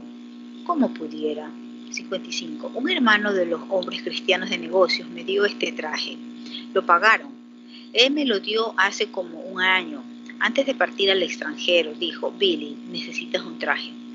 El mío tenía el cuello gastado y él lo compró y me dio este traje. Ahora, no hay necesidad de que alguien intente pagarlo. Ya está pagado. Es mío porque me lo regalaron. ¿Es eso correcto? Y de esa manera es con la salvación, y de esa manera es con la sanidad. El herido fue por nuestras rebeliones, por sus llagas hemos sido curados. ¿Es eso correcto? Ahora, ¿cuántos? ¿Ya son todos? Sí, todos los que están allí. Muy bien. ¿Quieren a unos más o con eso? Bueno, no importa cuántos se paren, esa no es la idea. La cuestión es, amigos, es para que el Espíritu Santo se empiece a mover entre la gente. Ahora miren, aquí está parada una dama. Este es un don divino. Y aquí está parada una dama frente a mí. Ella es una total desconocida para mí. Yo nunca la he visto en mi vida. Somos desconocidos, hermana, el uno para el otro. Ciertamente que lo somos. 56. Ahora, póngase aquí. Ahora, primeramente le puedo decir por la Biblia. Esa es la palabra eterna de Dios y esa es verdad. Y cualquier cosa contraria a eso no es de Dios, en mi opinión. Tiene que ser, este es el fundamento. Esa es la palabra de Dios en primer lugar. Muy bien. Luego, secundariamente, Él tiene predicadores quienes vienen y predican esta palabra, quienes la entienden y le dicen a la gente. Luego, lo siguiente, Él pone profetas en la iglesia. Profetas son videntes, que ven las cosas anticipadamente y hablan de cosas que llegan a suceder. Y todo es por el Espíritu de Dios. Y cuando Jesús estuvo aquí en la tierra, entre paréntesis, para los nuevos, Él nunca reclamó ser un sanador. ¿Cuántos saben eso? Levanten su mano. Él dijo, yo no soy el sanador. Él dijo, no soy yo el que hace las obras, es mi Padre que mora en mí. Él hace las obras. ¿Es eso correcto? Párrafo 57. Y Jesús dijo, de cierto, de cierto, San Juan 5:19, de cierto, de cierto os digo, el Hijo, el cuerpo, ya no puede hacer nada. El Hijo, su espíritu, ya no puede hacer nada de mí mismo, pero el Padre dentro de mí me lo muestra. ¿Ven? Y lo que el Padre me muestra por visión, eso hago. Es eso lo que Él dijo. De cierto, de cierto os digo, el Hijo no puede hacer nada de sí mismo, sino lo que viene a hacer al Padre. Eso hace el Hijo igualmente. Cuando él fue cuestionado por no haber sanado a todos los que estaban en Bethesda, solo sonó a un hombre acostado en un lecho. Observen aquí.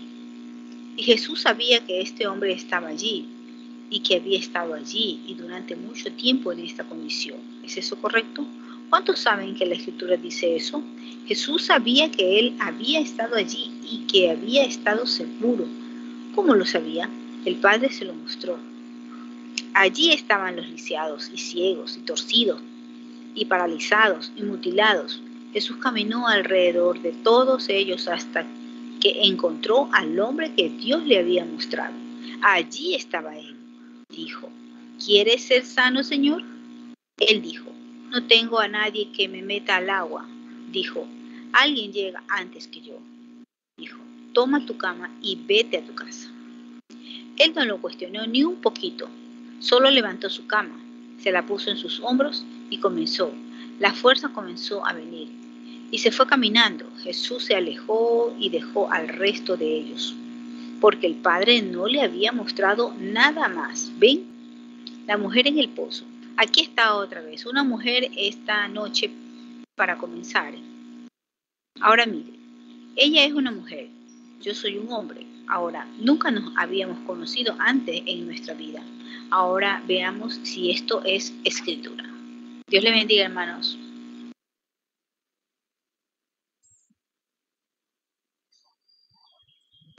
Dios le bendiga, hermana. Continúa la lectura, hermano José, párrafo del 58 al 64.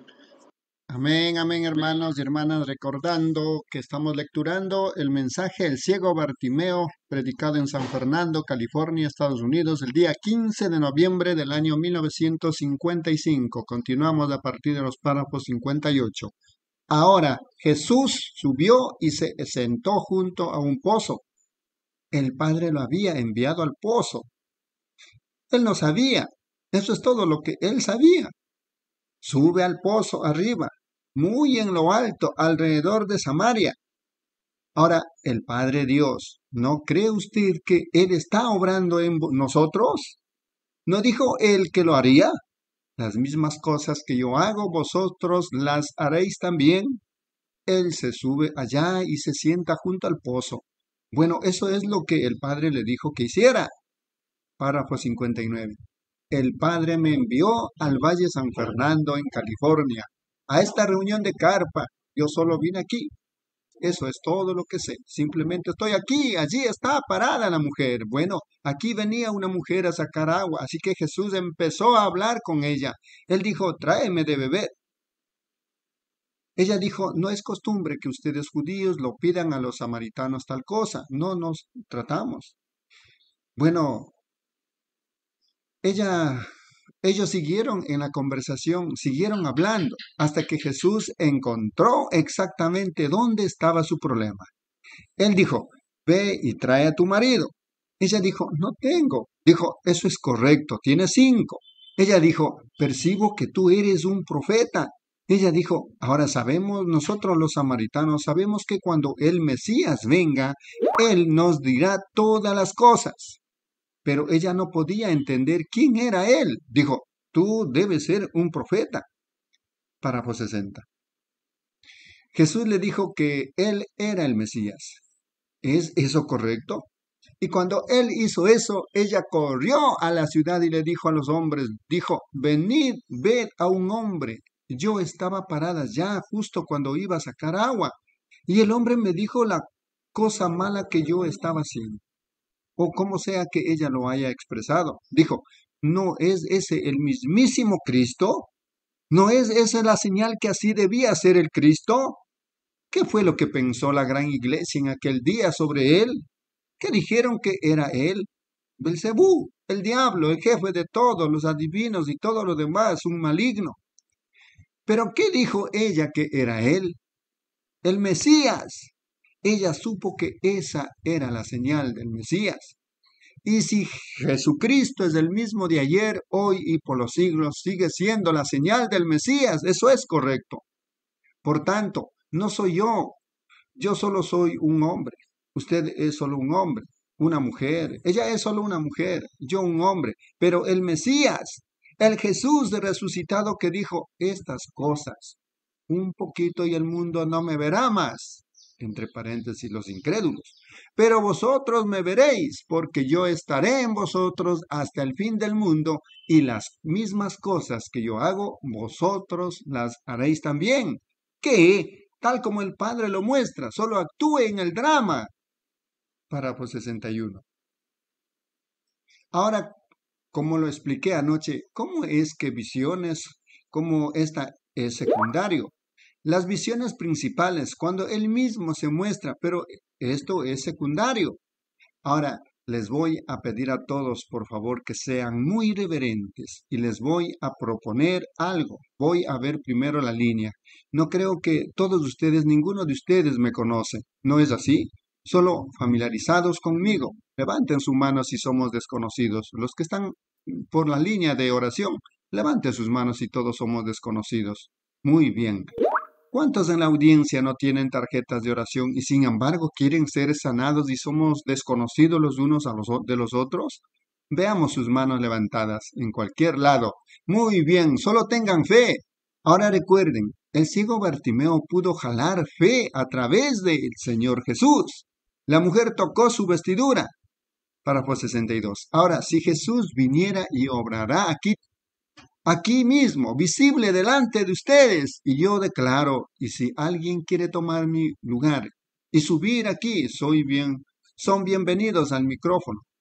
Muy bien, vengan a la línea de oración. Si no cree que está bien y que es Dios, bueno, venga a tomar el micrófono. Son bienvenidos.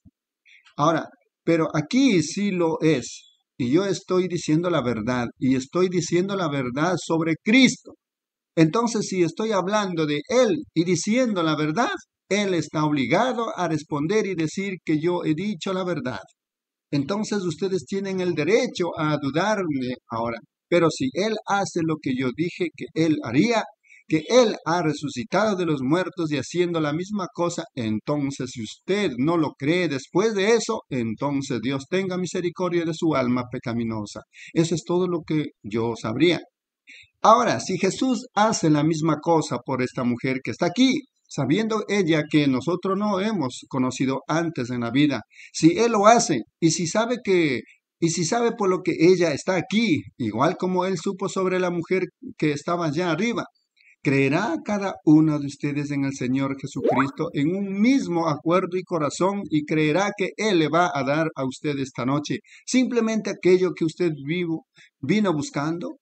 ¿Lo harán? Levanten su mano. Desearía que cada uno de ustedes que en verdad lo crean, levantarán su mano. Él los está mirando. Amén. Dios le bendiga. Párrafo 63. Ahora, Padre Celestial, no sé qué otra cosa hacer con todo el conocimiento que tengo. No tengo ninguno sino aquel que proviene de ti. Y yo oro, Padre, que tú ahora, tú muevas sobre esta pequeña audiencia y que los ángeles de Dios se acerquen esta noche. Es una noche fría. Ellos han sufrido un largo rato sentados aquí en el frío.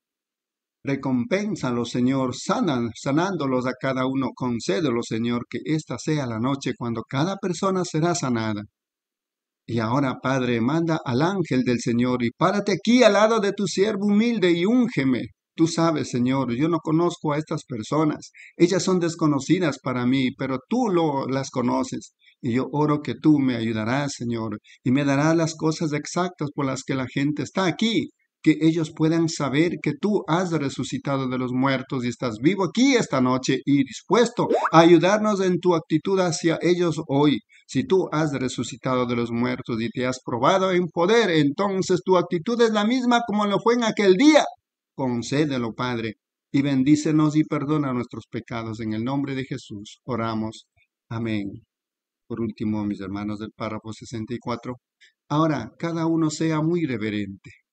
Creo que aquí hay un pañuelo para que se ore por él. Va a una dama. Y aquí hay otro, tal vez para lo mismo. Y oro por estos. Y esa es solo una carta individual para mí. Nuestro Padre Celestial bendice estos pañuelos en el propósito deseado. En el nombre de Jesús lo pido. Amén. Ahora, hermana, solo quédese justo así, está bien. Le puede decir a ella que se puede, quede justo allí. La distancia no tiene nada que ver con ello. La única razón por la que me vengo para acá es porque estoy, estoy tratando de individualizarle del resto del grupo de gente para hacer contacto con usted. Jesús aún alejó a sus discípulos cuando él tuvo que contactar a esa mujer. Ven, ¿han leído la historia? Me pregunto si alguna vez han pensado si ustedes pudieran pararse donde esa mujer se paró. ¿No sería maravilloso? Ustedes siempre pensaron que sería maravilloso. Si tan solo supiera, mi querida hermana, usted está parada en el mismo lugar. Eso es correcto. Usted se da cuenta como creyente ahora que algo está sucediendo desde que me volteé para este lado y empecé a hablar. Una sensación muy dulce y humilde ha venido sobre usted. ¿Es eso correcto? Si es así, levante su mano para la gente. Eso es correcto, porque entre usted y yo probablemente ha visto la fotografía de eso. Esa luz está arremolinando entre usted y yo. Amén, hermanos. Dios le bendiga. Dios le bendiga, hermano. Continúa la lectura, hermana Reina, en los párrafos del 65 al 70. Amén, hermanos. Dios le bendiga. Continuando con la lectura del mensaje, el ciego Bartimeo. Párrafo 65. Ahora pronto, si Dios quiere, estará. Quizás usted está solo en las tres dimensiones. Esta es otra dimensión. Está entrando en mí, pero es un espíritu. ¿Lo ve? Es en otro mundo. La gente, ella no se ha ido, está cerca de nosotros. Ángeles y todo lo demás. Los ángeles de Dios acampan alrededor de los que le temen. Ustedes se acuerdan de Elías allá en Dotán, esa mañana, cuando el muchacho dijo, oh, los ejércitos de los sirios están sobre nosotros. Él dijo, más son los que están con nosotros que los que están con ellos. Él no podía ver a nadie. Él dijo, Dios, abre los ojos de este joven.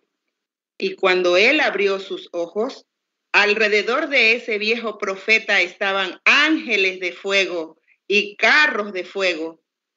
Y simplemente estaban. Entonces, hay más con nosotros que los que están con ellos. Y esas son las dimensiones ahora, por haber nacido.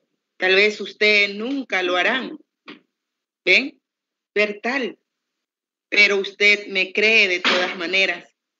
¿Cuánto más grande es la recompensa de los que no han visto y sin embargo creen? Pero unos de nosotros nacimos para eso. Dios coloca eso en la iglesia desde el nacimiento.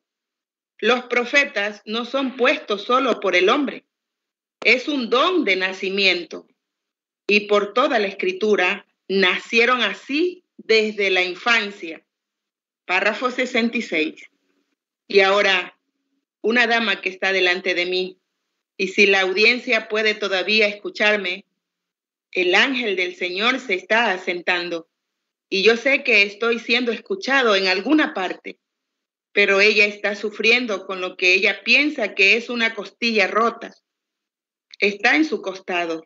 Ella tiene un bulto en su costado o un nódulo de algún tipo. y fue ocasionado por un abanico que la golpeó, algo que la golpeó y provocó esto. ¿Es eso correcto? Ahora, yo no sé lo que dije, pero no era yo diciéndolo. Eso fue algo más diciéndolo. Pero ¿fue cierto lo que lo que haya sido? Si así fue, levante su mano.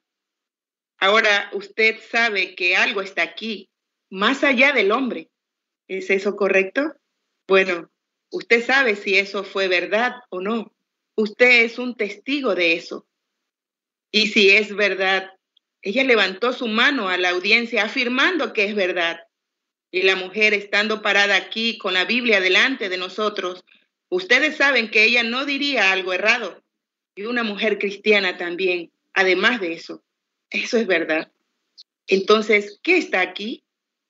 Jesús de Nazaret, resucitado de los muertos.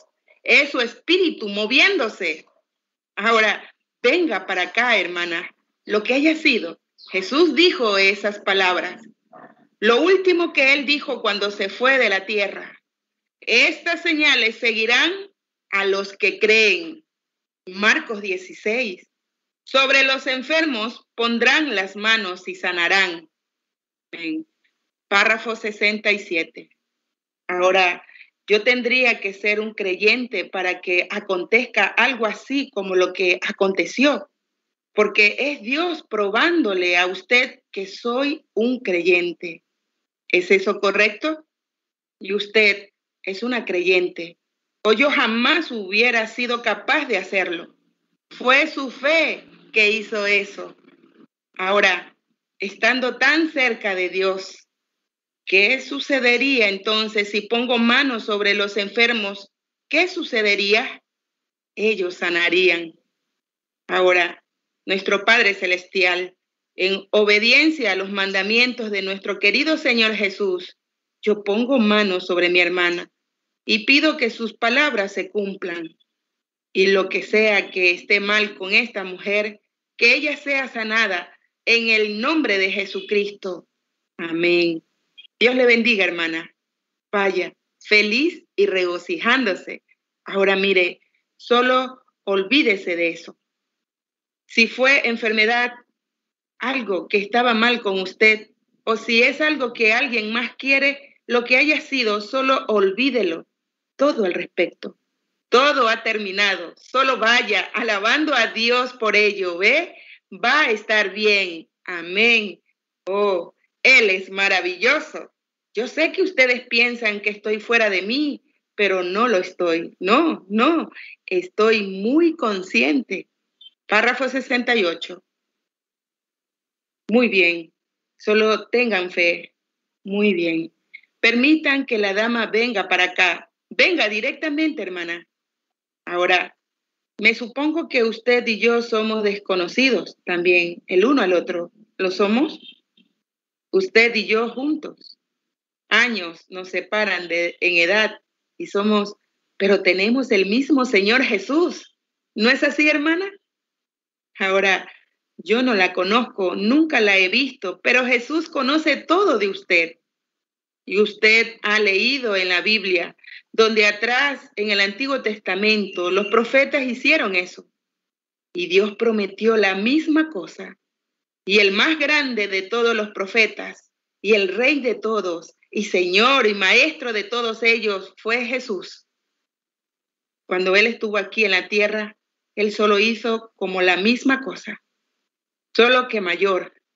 Luego Él se fue y dijo, las mismas cosas que yo hago, vosotros haréis hasta el fin del mundo. Así que es solo Jesús en su iglesia. ¿No es así? Ahora, yo no sé, y yo no podría sanarla si usted está enferma. Yo no sé, pero si usted está enferma, yo no podría sanarla. Jesús tendría que sanarla. ¿No es así? Pero Él lo hará si usted lo creerá Ahora, él solo sabiendo. Ahora, ¿qué tal si él estuviera parado aquí con este traje que él le dijo al hermano Gardner que me diera? Ahora, ¿qué tal si, si él estuviera parado aquí usando este traje Ahora, él no pudiera decir, ahora ven aquí, yo te sanaré. No, él no haría eso. Si lo hace, él tendría que retractarse de su palabra. Él diría, hijo mío, ¿no crees que yo hice eso cuando morí en el Calvario? ¿Que compré tu sanidad? Usted diría, sí, Señor. Entonces él diría, conforme a vuestra fe, os sea hecho. ¿Es eso correcto? Párrafo 69. Oh, ¿qué pasaría si el padre le mostrara a él y le dijera, él le pudiera decir a usted lo que está mal con usted o algo por el estilo? ¿No es así?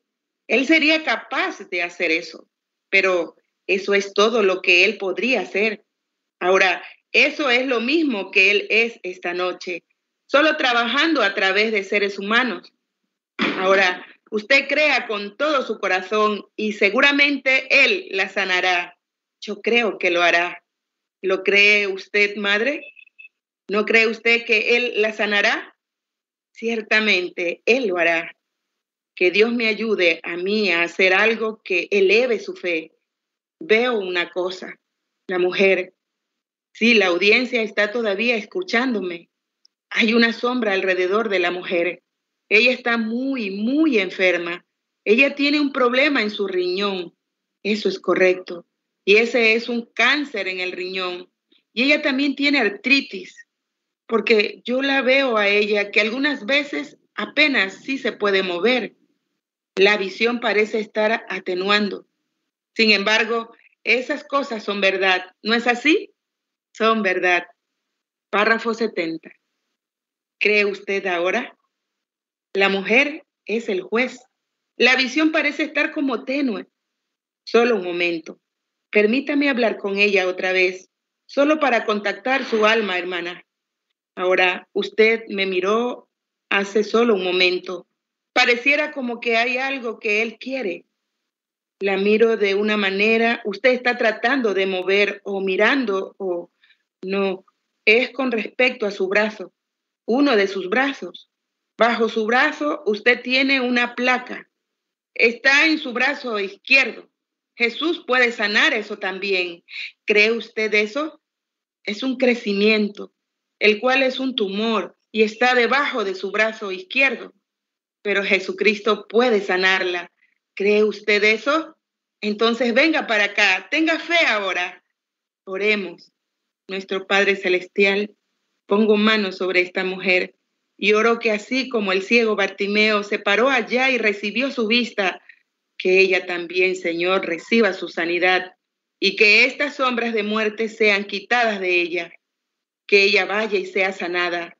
Oro esta bendición para mi hermana en el nombre de Jesucristo. Amén. Dios le bendiga, hermana. Vaya, regocijándose y feliz y dándole gracias a Dios y sea sanada. Amén, hermanos. Dios les bendiga.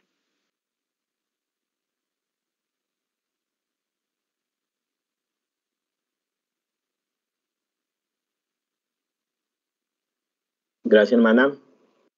Continúa la lectura, hermana Narcisa, en los párrafos 71 al 76.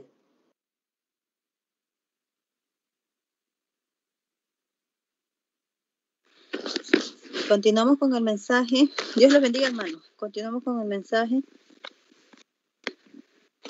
El ciego Bartimeo. Párrafo 71. Muy bien. Somos desconocidos el uno para el otro. Me supongo. Me supongo, hermana. Pero Dios nos conoce a ambos. ¿No es así? Él nos conoce a ambos. Ahora, si hubiera algo, si yo tuviera una especie de sanidad o algo, en primer lugar, si yo dijera eso, estaría errado. Yo estaría fuera de la escritura. Pero si lo tuviera, digamos que si lo tuviera, y si yo fuera un doctor y supiera lo que está mal con usted, y luego, si no lo hiciera, yo sería un hipócrita. Sí, señor.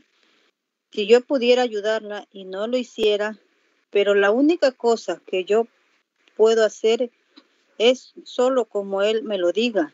Y eso es para mí la fe, su fe en Cristo. Algo sucedió en ese momento. Ahora, todos sean reverentes. Alguien estaba orando. Oh, aquí está. Alabado sea Dios. Gracias, hermana, por orar. Yo escuché su oración. Jesús también la escuchó. Su herpes zóster la va a dejar ahora, sentada allí con su mano levantada de esa manera. La madre que está allí, sentada con su mano levantada. Ahora usted, si puede seguir su camino ahora regocijándose.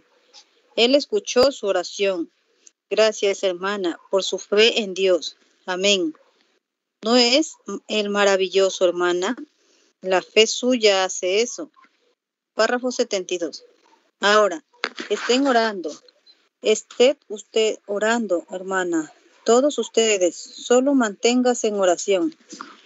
Ahora, la dama siendo una desconocida para mí.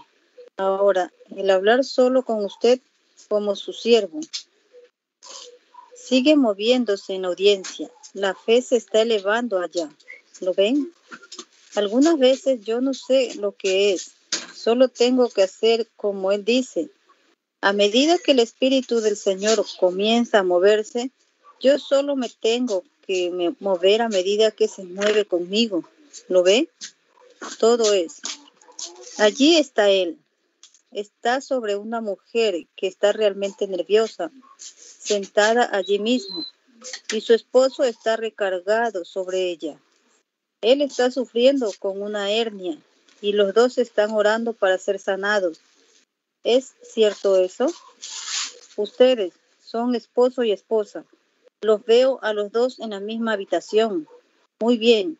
Pongan sus manos uno sobre el otro.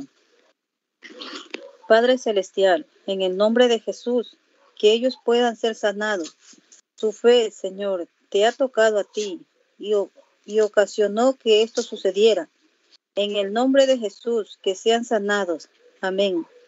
Dios le bendiga, mi querido hermano y hermana. La fe suya hizo esto, solamente por fe. Si puedes creer, oh vaya, ¿no es maravilloso?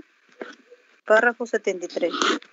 Hay otro hombre con su esposa sentado allá atrás y la mujer está sufriendo con una hernia, sentado directamente en la, línea con ellos. Y el hombre tiene un problema auditivo y también tiene hemorroides. Y ellos están sentados allí arriba, el hombre y la mujer. Ustedes están sanados, los dos. Jesús los... ¿Ustedes me escuchan ahora? ¿No es así, hermano? Sus oídos se abrieron. Alabado sea Dios. Allí está. Nuestro Señor Jesús es su abundante, en su abundante misericordia. Sentados allí, teniendo fe. ¿Qué ocasiona eso? La misma fe que estaba en el ciego Bartimeo. Usted debería de creer. Está suspendida sobre la dama en la camilla. Me supongo, me pregunto sobre su fe. Ella está muy enferma, una condición asmática. Ella tiene tuberculosis, artritis. Es correcto eso. No es así, joven dama. Usted en la... Eso es correcto, madre. Si tan solo cree y me cree que soy el profeta de Dios. Tan pronto este servicio termine, tome esa pequeña camilla y levántela y váyase a casa. ¿Ve? Tenga fe. Crea. Párrafo 74. Ahora, dama, solo un momento con usted. Lo siento. Solo me tengo que mover de la manera que se mueve. No sé, no se estén moviendo ninguno. ¿Ve? El ángel del Señor es la luz, es la columna de fuego. ¿Ve? Es la luz, como una luz ámbar ardiendo, y se mueve. Y cuando ustedes se mueven, unas veces son una alma humana, son una alma humana. Todos ustedes son parecidos, bajo control. Si se mueven, yo no sé exactamente en dónde están sentados el, escéptico. Sé en dónde están sentados los creyentes. Tengo que observar todo de manera exacta. Cuando eso se mueve, es un conflicto, está en el espíritu de vida. Párrafo 75. Ahora, aquí está. Parecía, pareciera como que ustedes pudieran ver eso. Veo sangre goteando. Es de esa persona que está sentada allí mismo, como a tres hileras atrás, sentada allí, que está goteando sangre de los pulmones. Está teniendo problemas. Un goteo de sangre. Sí, señor. Ahora, tenga fe, no dude, si no crea, y Jesucristo la sanará. Para el que cree, todas las cosas son posibles. Ahora, ¿cree usted, hermana? Párrafo 76. El hombre que está sentado de este lado está sufriendo con un problema de próstata. Sentado allá atrás. Al parecer me está mirando. Un hombre como de edad. Si puede creer, mi querido hermano, eso lo dejará y nunca más volverá. Confío en Dios que usted tiene su fe y cree todo lo de todo corazón. Usted recibirá lo que ha pedido. Maravilloso. Ahora, la dama. Lo siento, hermana. Yo solo tengo que... Veo unas montañas muy altas que están apareciendo delante de mí. Grandes y enormes montañas. Tienen nieve encima. Oh, usted está aquí por algún, por alguien más. Y esa persona vive simplemente en una montaña. Es en Denver, Colorado. Y ese es un hombre y tiene una relación con usted. Y es un hombre que no es salvo. Él no es un cristiano. Hay oscuridad alrededor del hombre. Y él ha estado en una especie de hospital y lo operaron del cerebro. Y ellos lo lastimaron los nervios es el nervio del equilibrio. Lo no puede caminar. Usted está tratando de... Él no puede continuar así. Y es su cuñado. Exactamente. Dios le bendiga, hermano.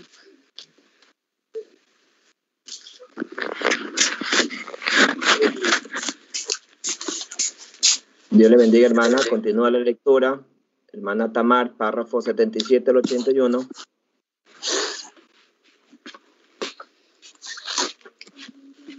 Dios le bendiga hermanos y hermanas. Continuemos con el mensaje. El ciego Bartimeo. Ahora ese pañuelo con el cual usted se limpió las lágrimas de sus ojos, mándeselo a él en el nombre del Señor Jesús y, y que sea sanado.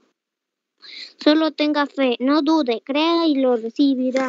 Si lo puedo creer, lo recibirá. La Biblia dice que usted lo hará. Sigo viendo a una mujer hispana parada ahí en el aire, por aquí, en, el, en algún lugar. No puedo diferenciar en dónde está, así que solo diga orando donde sea que, te que se encuentre, aún pudiera estar detrás de mí. Yo no lo sé, pero por favor sean reverentes y siéntense quietos solo por unos cuantos momentos.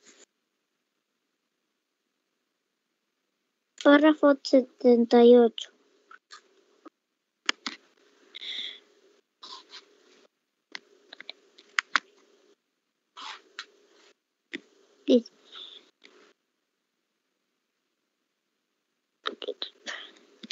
Oh, qué maravilloso. Señor Jesús tenemos. Qué bueno, qué precioso. Es Él. Él hace todas las cosas bien. Ahora sí puedo captar la atención de la damita aquí que está parada delante de mí. Hermana, no llore, ¿ve? Tal vez Bartimeo lloró, lloró, pero si usted necesita algo, Jesús está aquí para suplir cualquier cosa que usted necesite. Ahora yo soy su hermano y solo he dicho la verdad, hermana. Y usted sabe que yo no lo conozco. A cada con respeto a usted, usted se da cuenta de eso. ¿Está, está, es así, hermana? Pero no puedo creer que estoy diciendo la verdad sobre la Biblia que Jesús es el mismo de ayer, hoy y por los siglos? ¿Que si usted estuviera parada en su presencia? Él sabría acerca de usted lo que el Padre la revelaría. ¿Esto es correcto? La mujer tocó su vestidura, solo que él no sabía hasta que el padre lo, se lo mostró. Él dijo, así como el padre me lo muestra, eso es lo que hago. Vaya qué fe tan maravillosa se está moviendo en esa audiencia. Oh, si ustedes cuando me haya ido semanas después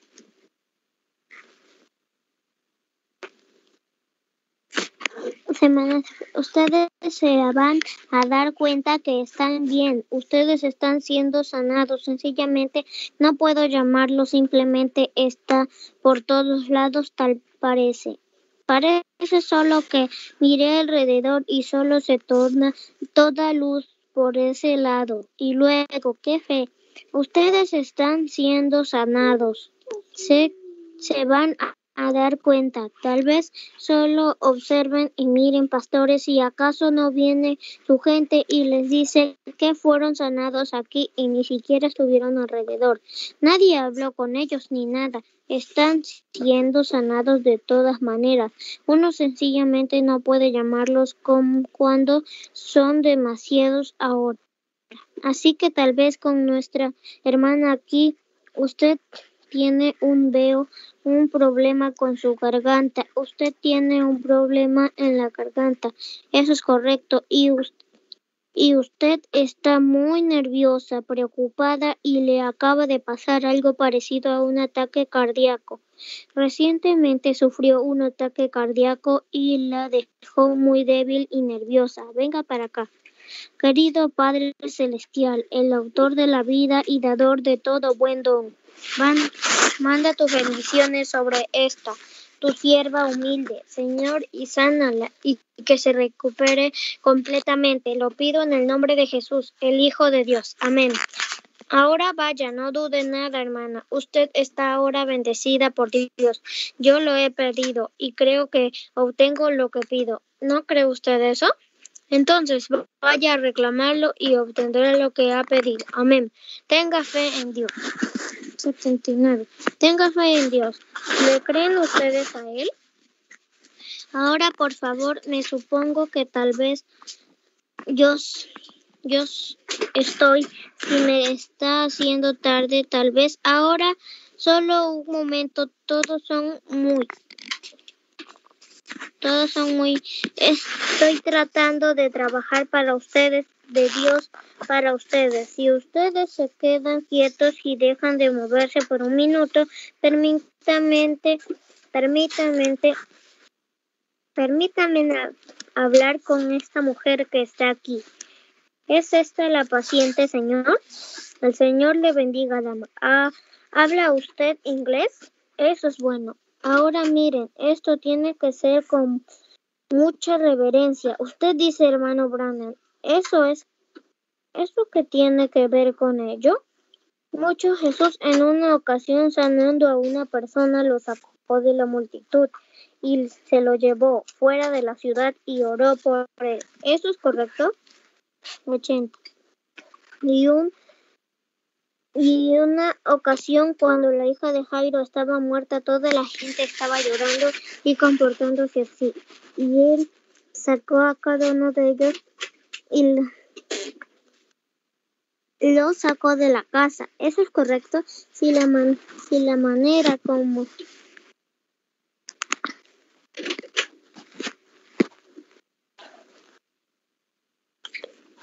si la manera como ustedes se mueven sus acciones. Miren, ustedes están en otro mundo. Oh, yo los amo con todo el corazón. Ojalá pudieran tan solo recibir a mi Señor Jesús ahora mismo. Ustedes verían sucediendo las cosas más grandes que alguna vez hayan visto en su vida, pero solo crean.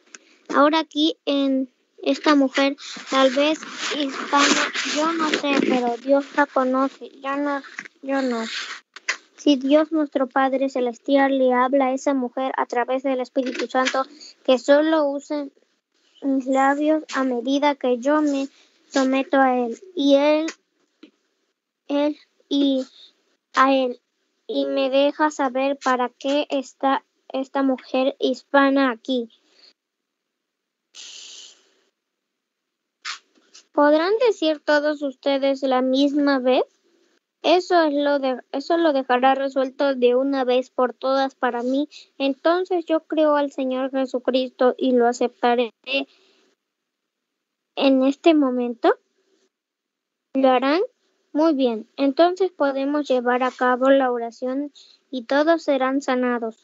Ustedes ya están sanados. Quiero decir, aceptarlo solo cuando usted lo acepta. Es cuando nosotros lo sabemos.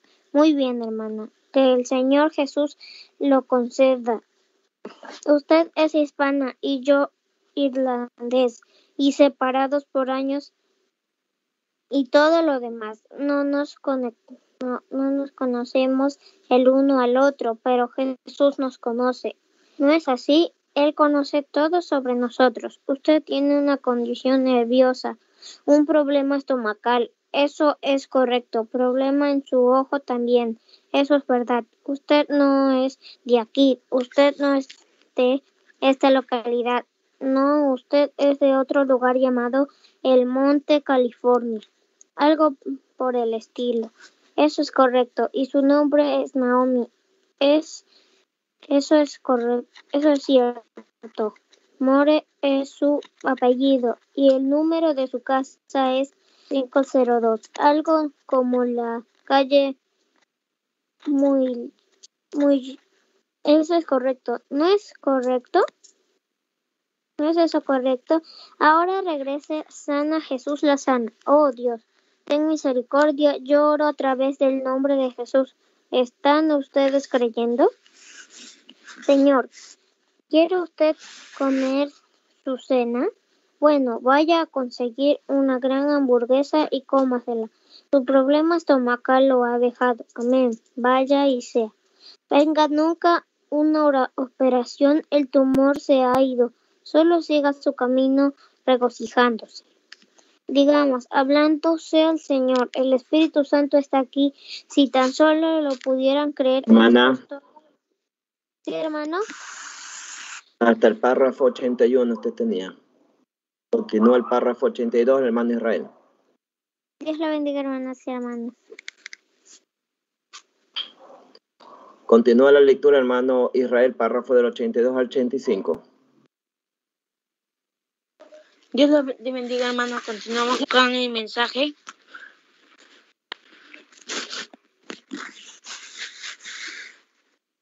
El ciego Bartimeo del párrafo 82. Digamos, hablado sea el Señor, el Espíritu Santo está aquí. Sí digamos, alabado sea el Señor. El Espíritu Santo está aquí. Si tan solo pudiera creer esto, es esto, es lo que se necesita para que suceda. Si usted cree, el corazón ya no le volverá a molestar, solo siga caminando y regocijando y dando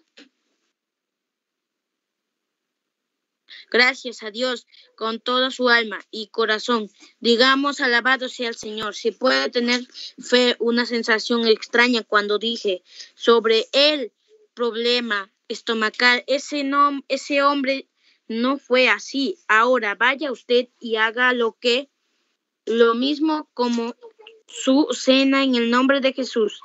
¿Creen ustedes allá en la audiencia? Amén. ¿Quieren ser sanados cada uno de ustedes? Ahora mismo, muy bien, entonces hagan esto, inclinen su rostro solo un momento, ahora repitan esta oración.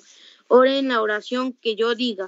La, la congregación repite después del hermano Brando. Querido Padre Celestial, yo ahora creo que Jesús, tu Hijo, ha resucitado de los muertos y me ha perdonado los pecados y sanado mis enfermedades. Yo lo acepto en este momento. Yo creo que tú estás aquí en la forma de espíritu haciendo las mismas cosas que hiciste cuando estuviste aquí en carne, y yo te acepto como mi Salvador. Ayúdame, Señor, para no dudar nunca más. Ahora solo estén muy quietos, mantengan encerrados con Dios, mantengan su rostro inclinado en, en esa, esa es su oración. Ahora solo por fe, mírenlo, a él con ojos de fe, ahora con sus ojos físico cerrado, mírenlo a él solo, imaginen, allí está él, allí a su lado, y, y sus brazos están extendidos. Ahora solo hay una cosa que impide que lo reciban justo sobre ustedes. Está suspendida una sombra oscura. Ese es Satanás, el que le el que duda tratando de decir, bueno, yo otra cosa. Ahora yo voy a reprender esa duda, esa cosa que los daría, dudar. Esa es mi oración. Ahora solo manténganse encerrados con Dios.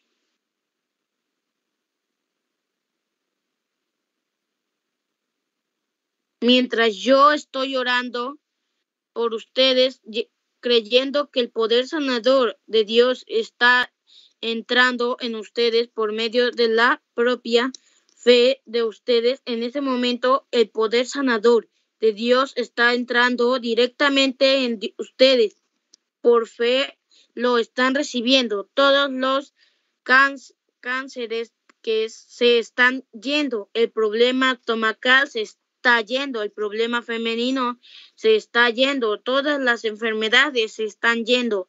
Ahora, Padre Celestial, ellos han confesado, te han traído un problema y ahora yo los estoy trayendo a ti. Y ahora este demonio de la duda que colgaba sobre la gente, que causaba que ellos dudaran, Satanás has perdido la batalla. Por años has mantenido a la humanidad encerrada en la duda, pero Dios en su misericordia nos ha enviado la luz y tú eres un engañador y estás expuesto y no tienes derechos legales. Jesucristo es el Hijo de Dios. Te despojo en el Calvario de todo lo que tenías y solo eres un fanfarrón y te estamos descubriendo por medio de la sangre de Jesús. Ya no puedes hacernos dudar más tiempo. Así que sal de esta gente y aléjate de ellos y sal de este tabernáculo esta noche. Te conjuro en el nombre de Jesús, de Jesucristo, el Hijo de Dios viviente, que toda duda se vaya de cada persona y, y Jesucristo lo sane completamente para la gloria de Dios. Lo pido en el nombre de Jesús y Satanás estás reprendido. Sal de ellos. Dios le bendiga, hermanos.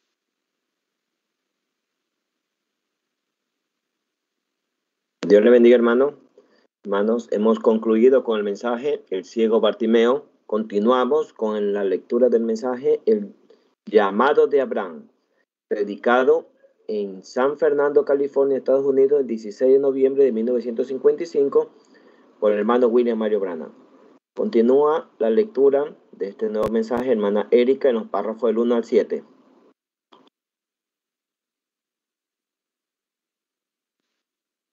Dios le bendiga, hermanos y hermanas. Vamos a continuar con una nueva lectura, El llamado de Abraham, del año 55, noviembre 16, párrafo, párrafo 1. Gracias, mi querido hermano. Eso es simplemente maravilloso. Alabado sea el Señor. Todos los que disfrutaron eso, digan amén. Qué maravilloso ha estado cantando para nosotros los hermanos aquí en nuestro avivamiento. Y sin duda los apreciamos y que Dios los bendiga. Hoy escuché muy buenos comentarios de ellos y estoy muy agradecido de escuchar eso, porque yo conozco a estos dos hermanos y sé que son unos verdaderos cristianos y estamos agradecidos por todo. Así que estamos felices de estar aquí en esta noche, nuevamente, este miércoles por la noche, noche de reunión normal, de oración, reunión de oración a mitad de semana entre las iglesias y oramos que aquellos que se suspendieron para venir aquí que Dios le bendiga ricamente y que nos dé una reunión de oración aquí esta noche. Y aquí, y aquellos que no pudieron y tienen sus propios servicios, solo oramos para que Dios les dé a ellos una gran reunión de oración. Párrafo 2. Anoche pensé que me aseguraría de salir a las nueve y media, pero fallé de nuevo, de nuevo. Así que voy a intentarlo otra vez si puedo. Ahora me dieron algunos pañuelos aquí para orar por ellos Me fijé en uno, decía, hermano Blanco, por favor de ungir. Ahora, eso está bien. Yo sé que muchos hermanos ungen los pañuelos, lo cual es bueno. Cualquier cosa que Dios bendiga, estoy a favor de ellos ciertamente.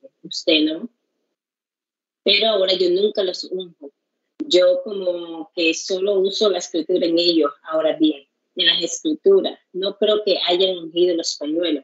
Pero la Biblia dice de dónde están tomando ustedes la escritura para eso, es en Hechos capítulo 19, de donde tomaron del cuerpo de Pablo pañuelos y delantales. Nada acerca de ungirlos, pero por supuesto eso está bien si los unge, pero yo no tengo ningún aceite para ungir. Párrafo 3. Yo creo en ungir a los enfermos con aceite, ciertamente.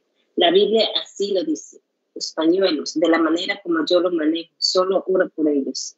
Y oh, ha sido un gran éxito. Acabamos de pasar un tiempo tan maravilloso orando por los pañuelos. Y el Señor ha bendecido de una gran manera tan maravillosa. Ahora, aquí no hace mucho, solo un pequeño testimonio. Me gustaría mencionar sobre la oración de los pañuelos. Yo envío, he enviado, temería decir el número, miles de miles y miles multiplicados alrededor del mundo. Recibí una cartita muy linda que viene de un traductor alemán. Tengo algunas pequeñas oficinas temporales en, o en ocho o diez naciones diferentes. Y ellos reciben la carta y la traducen y luego me la envían y dicen lo que quieren y yo la respondo. Entonces, hubo un, fue un verdadero lindo, verdaderamente lindo había una mujercita alemana que había estado en, una silla de ruedas con artritis durante varios años. Y ellos habían traducido mi libro en alemán. Y creo que Laura está aquí mismo en la reunión que, que hizo eso. O él estuvo en el desayuno de los hombres cristianos de negocio la otra mañana. Entre paréntesis, gracias Señor. Y en el desayuno de los hombres cristianos de negocio la otra mañana. Párrafo 4. Así que ellos, así que ella había estado leyendo ese libro y ella me mandó pedir un pañuelo. Por supuesto, los pañuelos cuestan alrededor de 10, 15 centavos cada uno. Y al enviarles miles a, la semana, yo no puedo postearlos porque no tengo capital con el cual trabajar. Así que solo compro grandes carretes de listo. Y eso me hace recordar, tengo que intentar conseguir un poco mientras estoy aquí en Los Ángeles. Se nos acabó nuestra reunión. Nosotros simplemente lo compramos todo y a veces, por cierto, cientos de metros de listón. Yo solo me siento y oro por ellos, los corto y se los envío a la gente. Y esta mujercita alemana, después de recibirlo, ella tomó las instrucciones que enviamos y tenemos un grupo de oración alrededor del mundo. La gente se levanta a veces a las 2 o 3 de la mañana para entrar en ese grupo de oración para empezar a orar. Y entonces ella se enganchó del pañuelo en su ropa interior o a la pequeña tela y puso su mano sobre su corazón y dijo, ahora tú, viejo diablo, vete de aquí. Se levantó de su silla de rueda y siguió con sus asuntos. Qué tan lindo fue eso, sonando de esa manera. Nos haría pensar que con una fe tan simple, párrafo simple. Ustedes saben, amigos cristianos, eso es lo que es, es tan simple, eso engaña a la gente, eso es todo. No es nada que tenga que levantar el brazo o jalar hacia abajo o algo. Es tan simple como eso. Ahora voy a poner estos aquí y luego los, puedo, los pueden recoger después. Ahora, siempre estamos contentos de orar por ellos y, lo, haré con cada, lo haré cada noche. Gracias, gracias. Usted va a reconocer este pañuelo. ¿cierto? Muy bien. Y ahora, si quieren que ore por estos pañuelos cada noche y luego, si no logran conseguir uno, si no reciben uno, ninguno, solo pidan a la oficina, solo escríbanme a Jeffersonville. No les estoy diciendo ahora, no debería haber dicho eso. Supongo porque la mayoría de las veces la gente está diciendo, escríbanme, pues, entre muy bien, hermana, escríbanme. Bueno, eso quiere decir entonces, están tratando de conseguir su dirección para empezar. Pero yo no tengo ningún programa radial, nada que financiar así que yo solo responderé su carta. eso será todo. Les enviaré el pañuelo. Pero ahora y entonces, si ustedes quieren, manden pedirlo y de recibir, recíbanlo. Y guárdenlo en su Biblia. Si no lo van a usar por el momento. Y nuestro Señor, solo algunos pequeños. Carlos José. Creo el hermano Oral Roberts, todos ustedes conocen, casi todos ustedes han oído hablar del hermano Oral Roberts, un hermano muy querido y una persona encantadora. Su tema principal es como el mío, siendo Jesús el mismo ayer, hoy, por los siglos. Él, el suyo es el punto de contacto. Y yo pienso que solo una pequeña tela o algo así, solo un punto de contacto, ustedes saben, solo algo para o como para estimular un poco la, la fe de ustedes. Así que ahora inclinemos nuestro rostro solo un momento para mí. Ahora, Padre Celestial, venimos a ti primero esta noche para dar acción de gracia por todo lo que has hecho por nosotros. Bendición, bendiciéndonos y dándonos bendiciones que no merecemos. Y Padre, sí, no merecemos nada, pero es a través de tu justicia de gracia que tú nos bendice y estamos muy agradecidos. Oramos para que te reúnas con nosotros aquí esta noche en la palabra y que tengamos mucho compañerismo alrededor de la palabra. Y luego en el servicio, la oración por los enfermos, que el Espíritu Santo hágalo mucho más abundantemente esta noche de alguna manera para estimular la fe y bendecir a muchos. Simplemente te agradecemos por todo lo que has hecho mirando alrededor esta noche aquí en el edificio y viendo que hace unas noches estaban tres o cuatro cátaras y sillas de rueda y solo queda uno esta noche. Padre, que sea la noche para que esa persona sea sanada.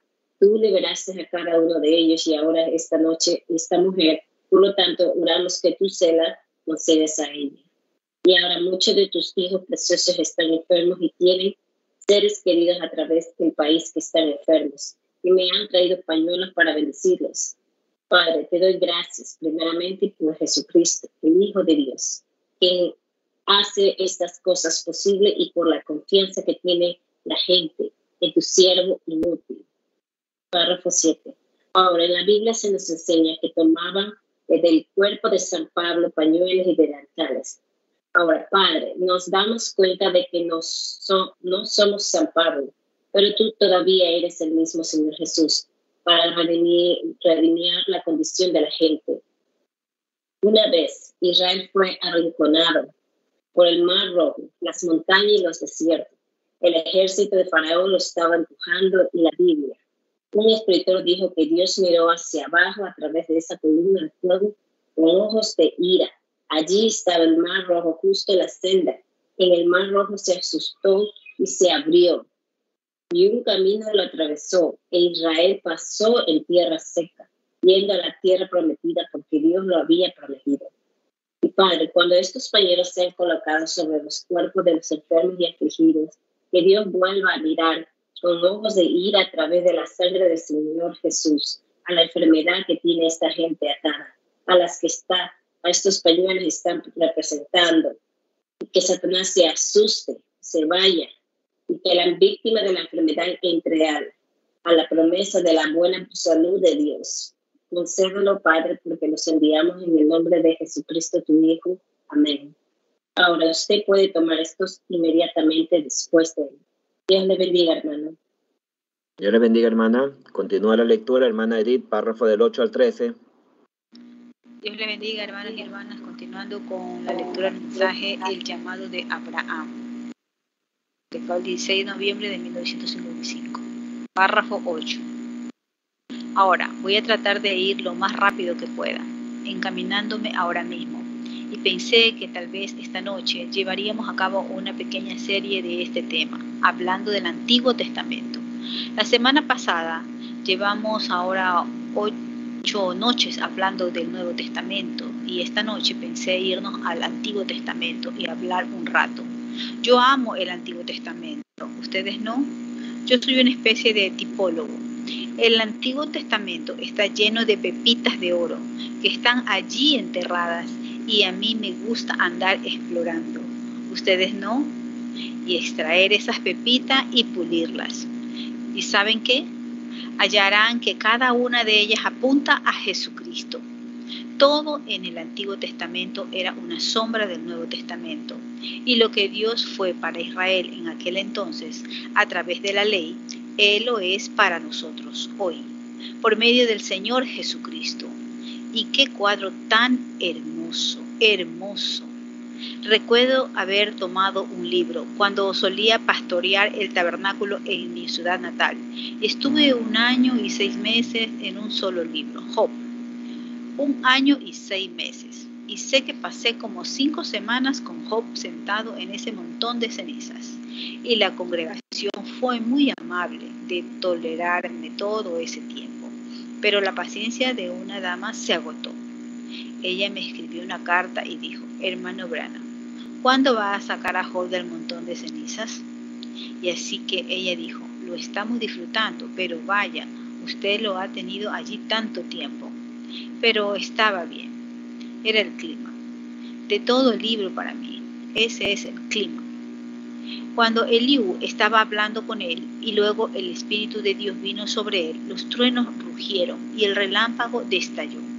Job se puso de pie y dijo, yo sé que mi redentor vive, y al fin se levantará sobre el polvo, y después de deshecha esta mi piel, en mi carne he de ver a Dios. Qué cosa tan hermosa. Y el clima de esto fue que no quedó un pecador en la iglesia. El Señor Jesús lo salvó a cada uno de ellos. Ahora, vamos a comenzar esta noche en el libro de Génesis. Y me encanta este libro también. Y queremos comenzar con el profeta Brana y hablar un rato. Y ahora, en Génesis 12, leeremos solo una porción de la palabra y luego vamos a tomar a Brana durante las siguientes dos noches, si es la voluntad del Señor. Y vigilaré mi tiempo de modo que no tome demasiado. Y luego traerlo al clima o donde él sacrificó o fue a sacrificar a su propio hijo y fue llamado Jehová Jireh. El Señor se proveerá de un sacrificio. 10. Esta noche queremos tomar el llamado de Abraham en Génesis 12. Leer los primeros tres versículos. Y Jehová dijo a Abraham, vete a tu tierra y de tu parentela y de la casa de tu padre, a la tierra que te mostraré. Y haré de ti una nación grande te bendeciré y engrandeceré tu nombre y serás bendición. Y bendeciré a los que te bendijeren, a los que te maldijeren, maldiciré. Y serán benditas todas las familias de la tierra. Que el Señor añada sus bendiciones a la lectura de su palabra. 11. Ahora, rápidamente. Y luego iremos directamente al servicio de sanidad porque pensamos esto, es casi la misma pequeña audiencia cada noche. Y hace unas noches trajeron, creo, como un montón de sillas de ruedas y catres y ahora se han reducido a uno. Alabado sea Dios, lo alabo. Gracias a Dios esta noche. Voy a oír las citas más tarde, cuando los muchachos, Leo y Gene y demás, mis compañeros que están aquí haciendo las grabaciones. Y veo otro grupo aquí también, y si quieren saber lo que se les dijo a ustedes, es algo semiconsciente. ¿Ven? Y uno no se da cuenta de lo que ustedes o yo no me doy cuenta lo que estoy diciendo. Así que solo consigan la cinta pueden averiguar exactamente lo que les dije. Y siempre recuerden exactamente lo que eso les dije. Y acá tengo. No tengan miedo. Dos o tengo que solo otro pequeño testimonio en el fondo de mi corazón. Yo estaba, simplemente tengo que decirlo, por poco, una noche. Ellos venían por la línea de oración. Había una pequeña dama que había estado sufriendo con problemas estomacales y el Espíritu Santo le dijo todo sobre ella y quién era. Alguien cuestionó eso de decirle a la gente quiénes eran. Dijo, eso no es la escritura. Oh, sí lo es, sí lo es. Cuando Pedro se acercó a Jesús, le dijo, tú eres el hijo de Jonás, pero serás llamado Pedro a partir de ahora, lo cual es una piedrecita. Jesús lo conocía. Supo su nombre y le dijo cuál era su nombre. Así que, de todos modos, esta mujer le dijo a ella. Entonces, cuando le reveló todo a ella, entonces salió. Así dice el Señor, usted está sanada, porque se volvió la luz. Y vi a la mujer bien, y yo nunca le habría dicho eso. No soy yo. Hablando entonces es él. Y entonces ella se fue a casa, ella dijo, bueno, si estoy sana, dijo, bien podría ir a casa y comer. Luego una de sus amigas, lejos en el vecindario, tenía un crecimiento grande en su cuello. Y el Espíritu Santo le dijo lo mismo a ella, le dijo que ella estaba sanada. Entonces ella salió palpándose en busca del crecimiento. Ella dijo, bueno, todavía está aquí, pero me instruyeron, sí, dijo, era el Señor hablando, tiene que desaparecer. Entonces acordaron al irse a casa que iban a seguir adelante y actuar como si no había nada al respecto. Así que ellas estaban bien. Párrafo 13. Entonces la damita trató de comer y oh vaya, era realmente, ella realmente se enfermó. Y luego, en unos pocos días, eso siguió empeorando. Entonces ella se mantuvo diciéndole a su familia y a todos, gracias al Señor estoy sanada. Ella simplemente se mantuvo con eso. Pasaron como seis semanas, nada diferente, todavía seguía igual. Bueno, algunos de los vecinos dijeron, ahora, hermana, estás trayendo reproche a la causa. Dijeron, no deberías decir esas cosas a menos que sean verdaderas. Ella dijo, pero por alguna razón, dijo, no veo que esté mejorando, pero dijo, solo algo en mi corazón. Si un espíritu pudo pararse ahí y decirle a una persona quién era yo y todo sobre mi vida y decirme qué sucedió, que lo causó, y luego decirme en el nombre de Jesucristo que yo estaba sanada, dijo, simplemente no puedo olvidarlo, dijo, yo lo creo de todos modos. Así que ella solo siguió aferrándose y una mañana los niños se habían ido a la escuela y ella estaba lavando los platos y le dio mucha hambre. Le sobrevino una sensación realmente extraña y le dio hambre. La mujer puede estar sentada presente en este momento, por lo que sé.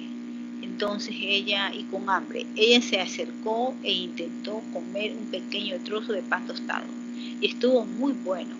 Entonces pensó, bueno, por lo general, esa tostada con mantequilla la enfermaba. Un estómago lleno de úlceras. Y ella dijo, bueno, eso estuvo muy bien. Entonces, bueno, ella todavía tenía hambre, así que pensó que comería un poco de avena. Ustedes saben, algo de lo que los niños habían dejado ahí.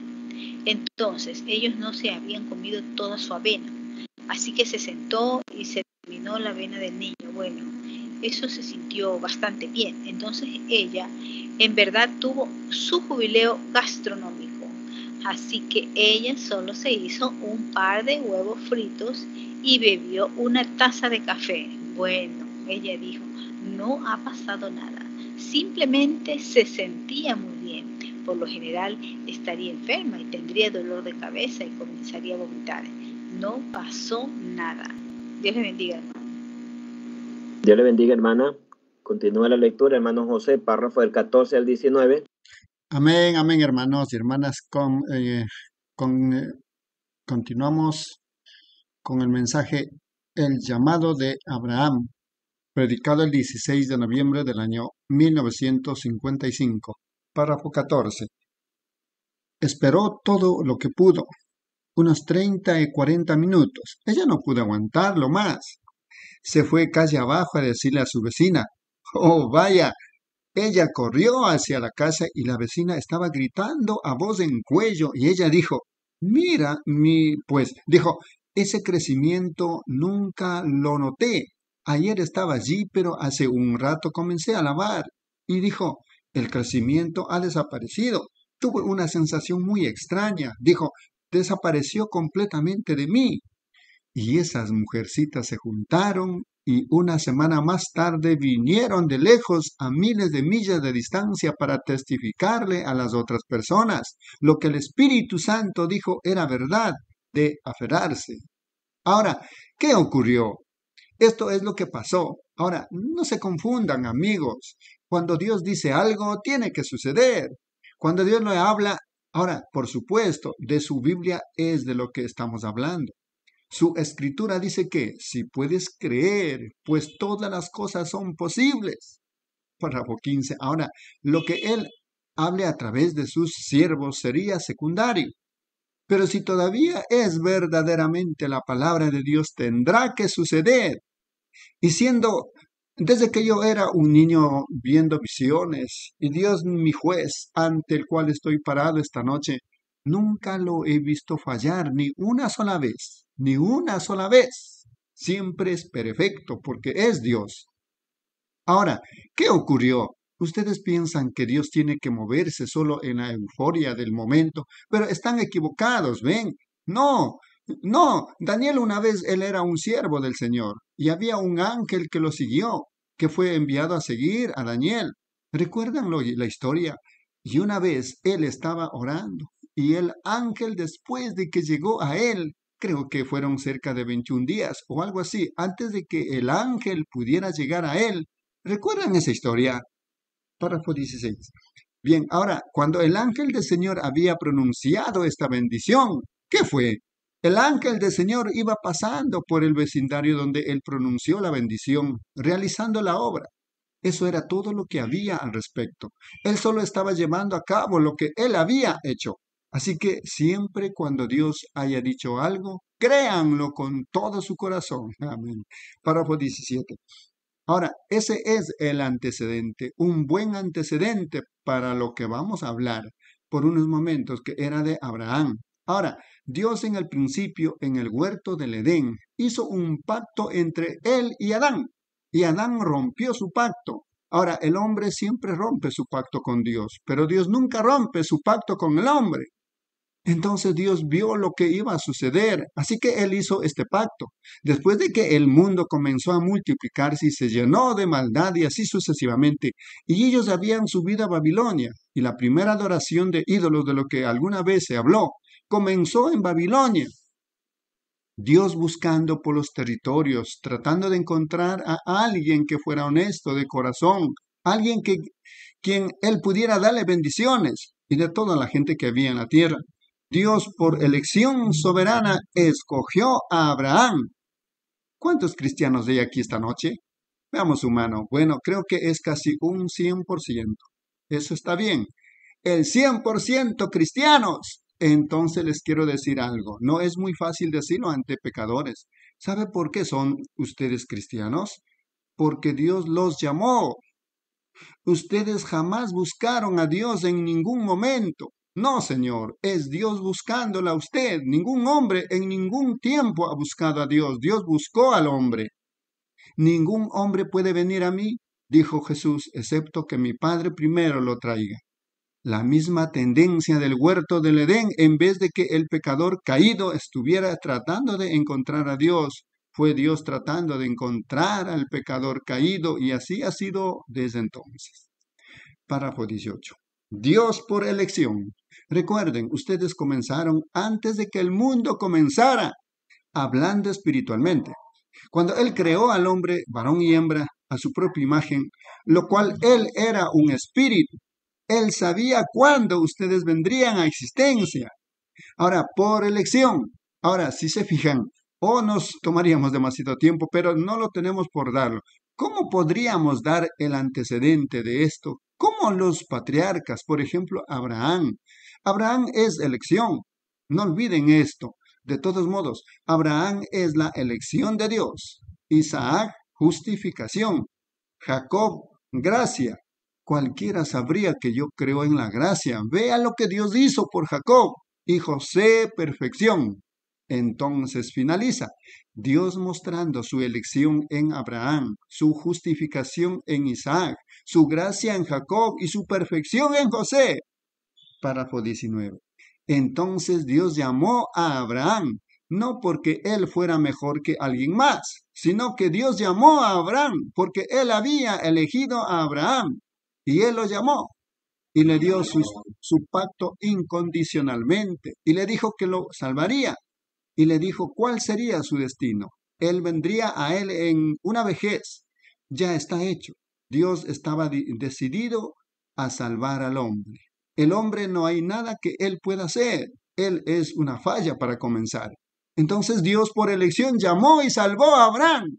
Ustedes dicen, oh hermano, si tan solo yo hubiera sido Abraham. Ahora esperen, no solo Abraham, pero también su simiente después de él. Él lo llamó y la eh, eligió. Amén. Ahora, mis hermanos, desearía tal vez eso una, no pudiera concordar muy bien, pero solo manténganlo unos minutos y observen. Dios por elección soberana llamó a Abraham, no porque él hubiera hecho algo.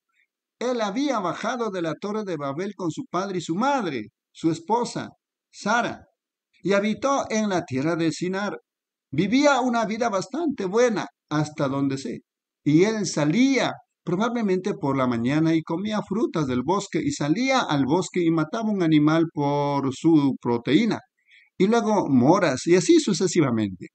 Y él habitó en Sinar, en la ciudad de Ur, de la tierra del, de Caldea. Y Dios por elección llamó a Abraham y dijo, yo, no si tú haces una determinada cosa, sino yo ya lo hice. Dios ha determinado salvar al hombre, aún en contra de su propia voluntad, contra su naturaleza. El hombre en su naturaleza es absolutamente contrario a la voluntad de Dios. Él es un pecador, nacido un pecador, nacido en pecado, formado en iniquidad. Vino al mundo hablando mentiras, perdido desde su nacimiento. Nada que él pueda hacer al respecto. Amén, hermanos y hermanas, Dios le bendiga. Dios le bendiga, hermano. Hermanos y hermanas, hemos concluido con el compañerismo. Hermano José nos ayuda con oración para cerrar el compañerismo. Amén, hermanos y hermanas. Glorioso mensaje, glorioso tiempo que estamos viviendo. Vamos a darle gracias por esta grandiosa oportunidad que Dios nos ha dado. Señor Dios Todopoderoso, te damos muchas gracias, Señor, porque tú nos has mostrado muchas cosas que estaban escondidas, cuántas veces le hemos, leído la Biblia, pero es como un reglamento, una ley que crea en el Congreso. La ley es interpretada de cualquier manera, de cualquier forma, por los que quieran interpretar. Pero cuando en el mismo Congreso realizan un reglamento, entonces todos acuden a ese reglamento para interpretar la ley. De la misma manera, oh Padre, tú enviaste la Biblia, la Santa Biblia, y durante seis mil años, oh Padre, luego que tú escribiste a través de Moisés en una piedra, luego lo escribiste en pergaminos, luego se hizo en papel, ahora por estos medios, oh Padre, como dice el profeta, ahí en el Antiguo Testamento están escondidos pepitas de oro. Y eso es porque tú enviaste, oh Padre, en este último tiempo un mensaje que iba a rodear todo el mundo. Y ese era Apocalipsis 17. Iba a venir alguien, oh Padre amado, el elegido por ti, no es que porque él quería, Señor. Por eso que un, un hombre puede hacer lo que quiera, pero si tú no estás en la cena, de nada sirve, oh Padre. Incluso él quería matarse, vuestro profeta gentil, pero tú lo detuviste. En cuántas ocasiones él incluso se disparaba en la frente, pero no salía las balas y cuando se botaba eso, y ahí sí disparaba. Tú controlaste al profeta y por eso te damos muchas gracias, oh Padre. Él ya se. Dejó la comida espiritual para todos nosotros en este último tiempo, oh Padre amado. Y Él nos ha revelado todos los misterios, sino que en los días de la voz del séptimo ángel, cuando Él comience a tocar la trompeta, el misterio de Dios sería consumado, como así lo anunciaste a tus siervos, los profetas, oh Padre. Y esa es la razón y es el motivo por el que hemos decidido, oh Padre, hacer algo por ti. Tú nos encontraste en el trayecto de la vida de cada uno de vosotros. Tú nos encontraste, oh Padre. Uno quería ser cristiano, pero nos hemos encontrado con bautistas, pentecostales, presbiterianos, católicos, hasta pare de sufrir. Oh, pero cuando tú nos encontraste, nos diste tu palabra, comida espiritual para el alma, oh Padre. Muchas gracias por ese privilegio y la satisfacción que tú nos has dado, Señor, el continuar con este proyecto que hemos trazado, Padre.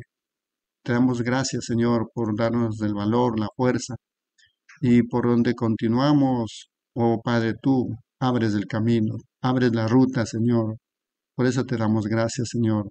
Los hermanos y hermanas y niños que han estado en la cena, te decimos muchas gracias por el privilegio, Padre, que tú nos has dado, Señor, para lecturar estos grandiosos mensajes. Oh Padre, pero ten misericordia. Permítaselo de la mejor manera, con mucha honradez, con mucho respeto, Señor, con mucha reverencia, porque así es tu palabra perfecta, Señor, se lo merece, Señor. Si hay un día más, Señor, estaremos el día de mañana nuevamente con mucha alegría, con mucho gozo y paz, porque tu palabra trae mucha paz. El mundo da paz, pero viene la guerra, oh Padre. Eso es tan solo una mentira, pero tú nos entregas vida eterna, Señor. Y el juicio comienza por nuestra propia casa, Señor. Esa es tu palabra. Te pedimos, Señor, que nos guíes en cada momento y cada instante, Señor, en el nombre del Señor Jesucristo. Amén, mis hermanos. Que el Señor Jesucristo los bendiga. Dios les bendiga, hermanos y hermanas. Dios le bendiga, hermanos y hermanas. Shalom. Shalom. Hermanos, hermanos, shalom a todos. Shalom, shalom.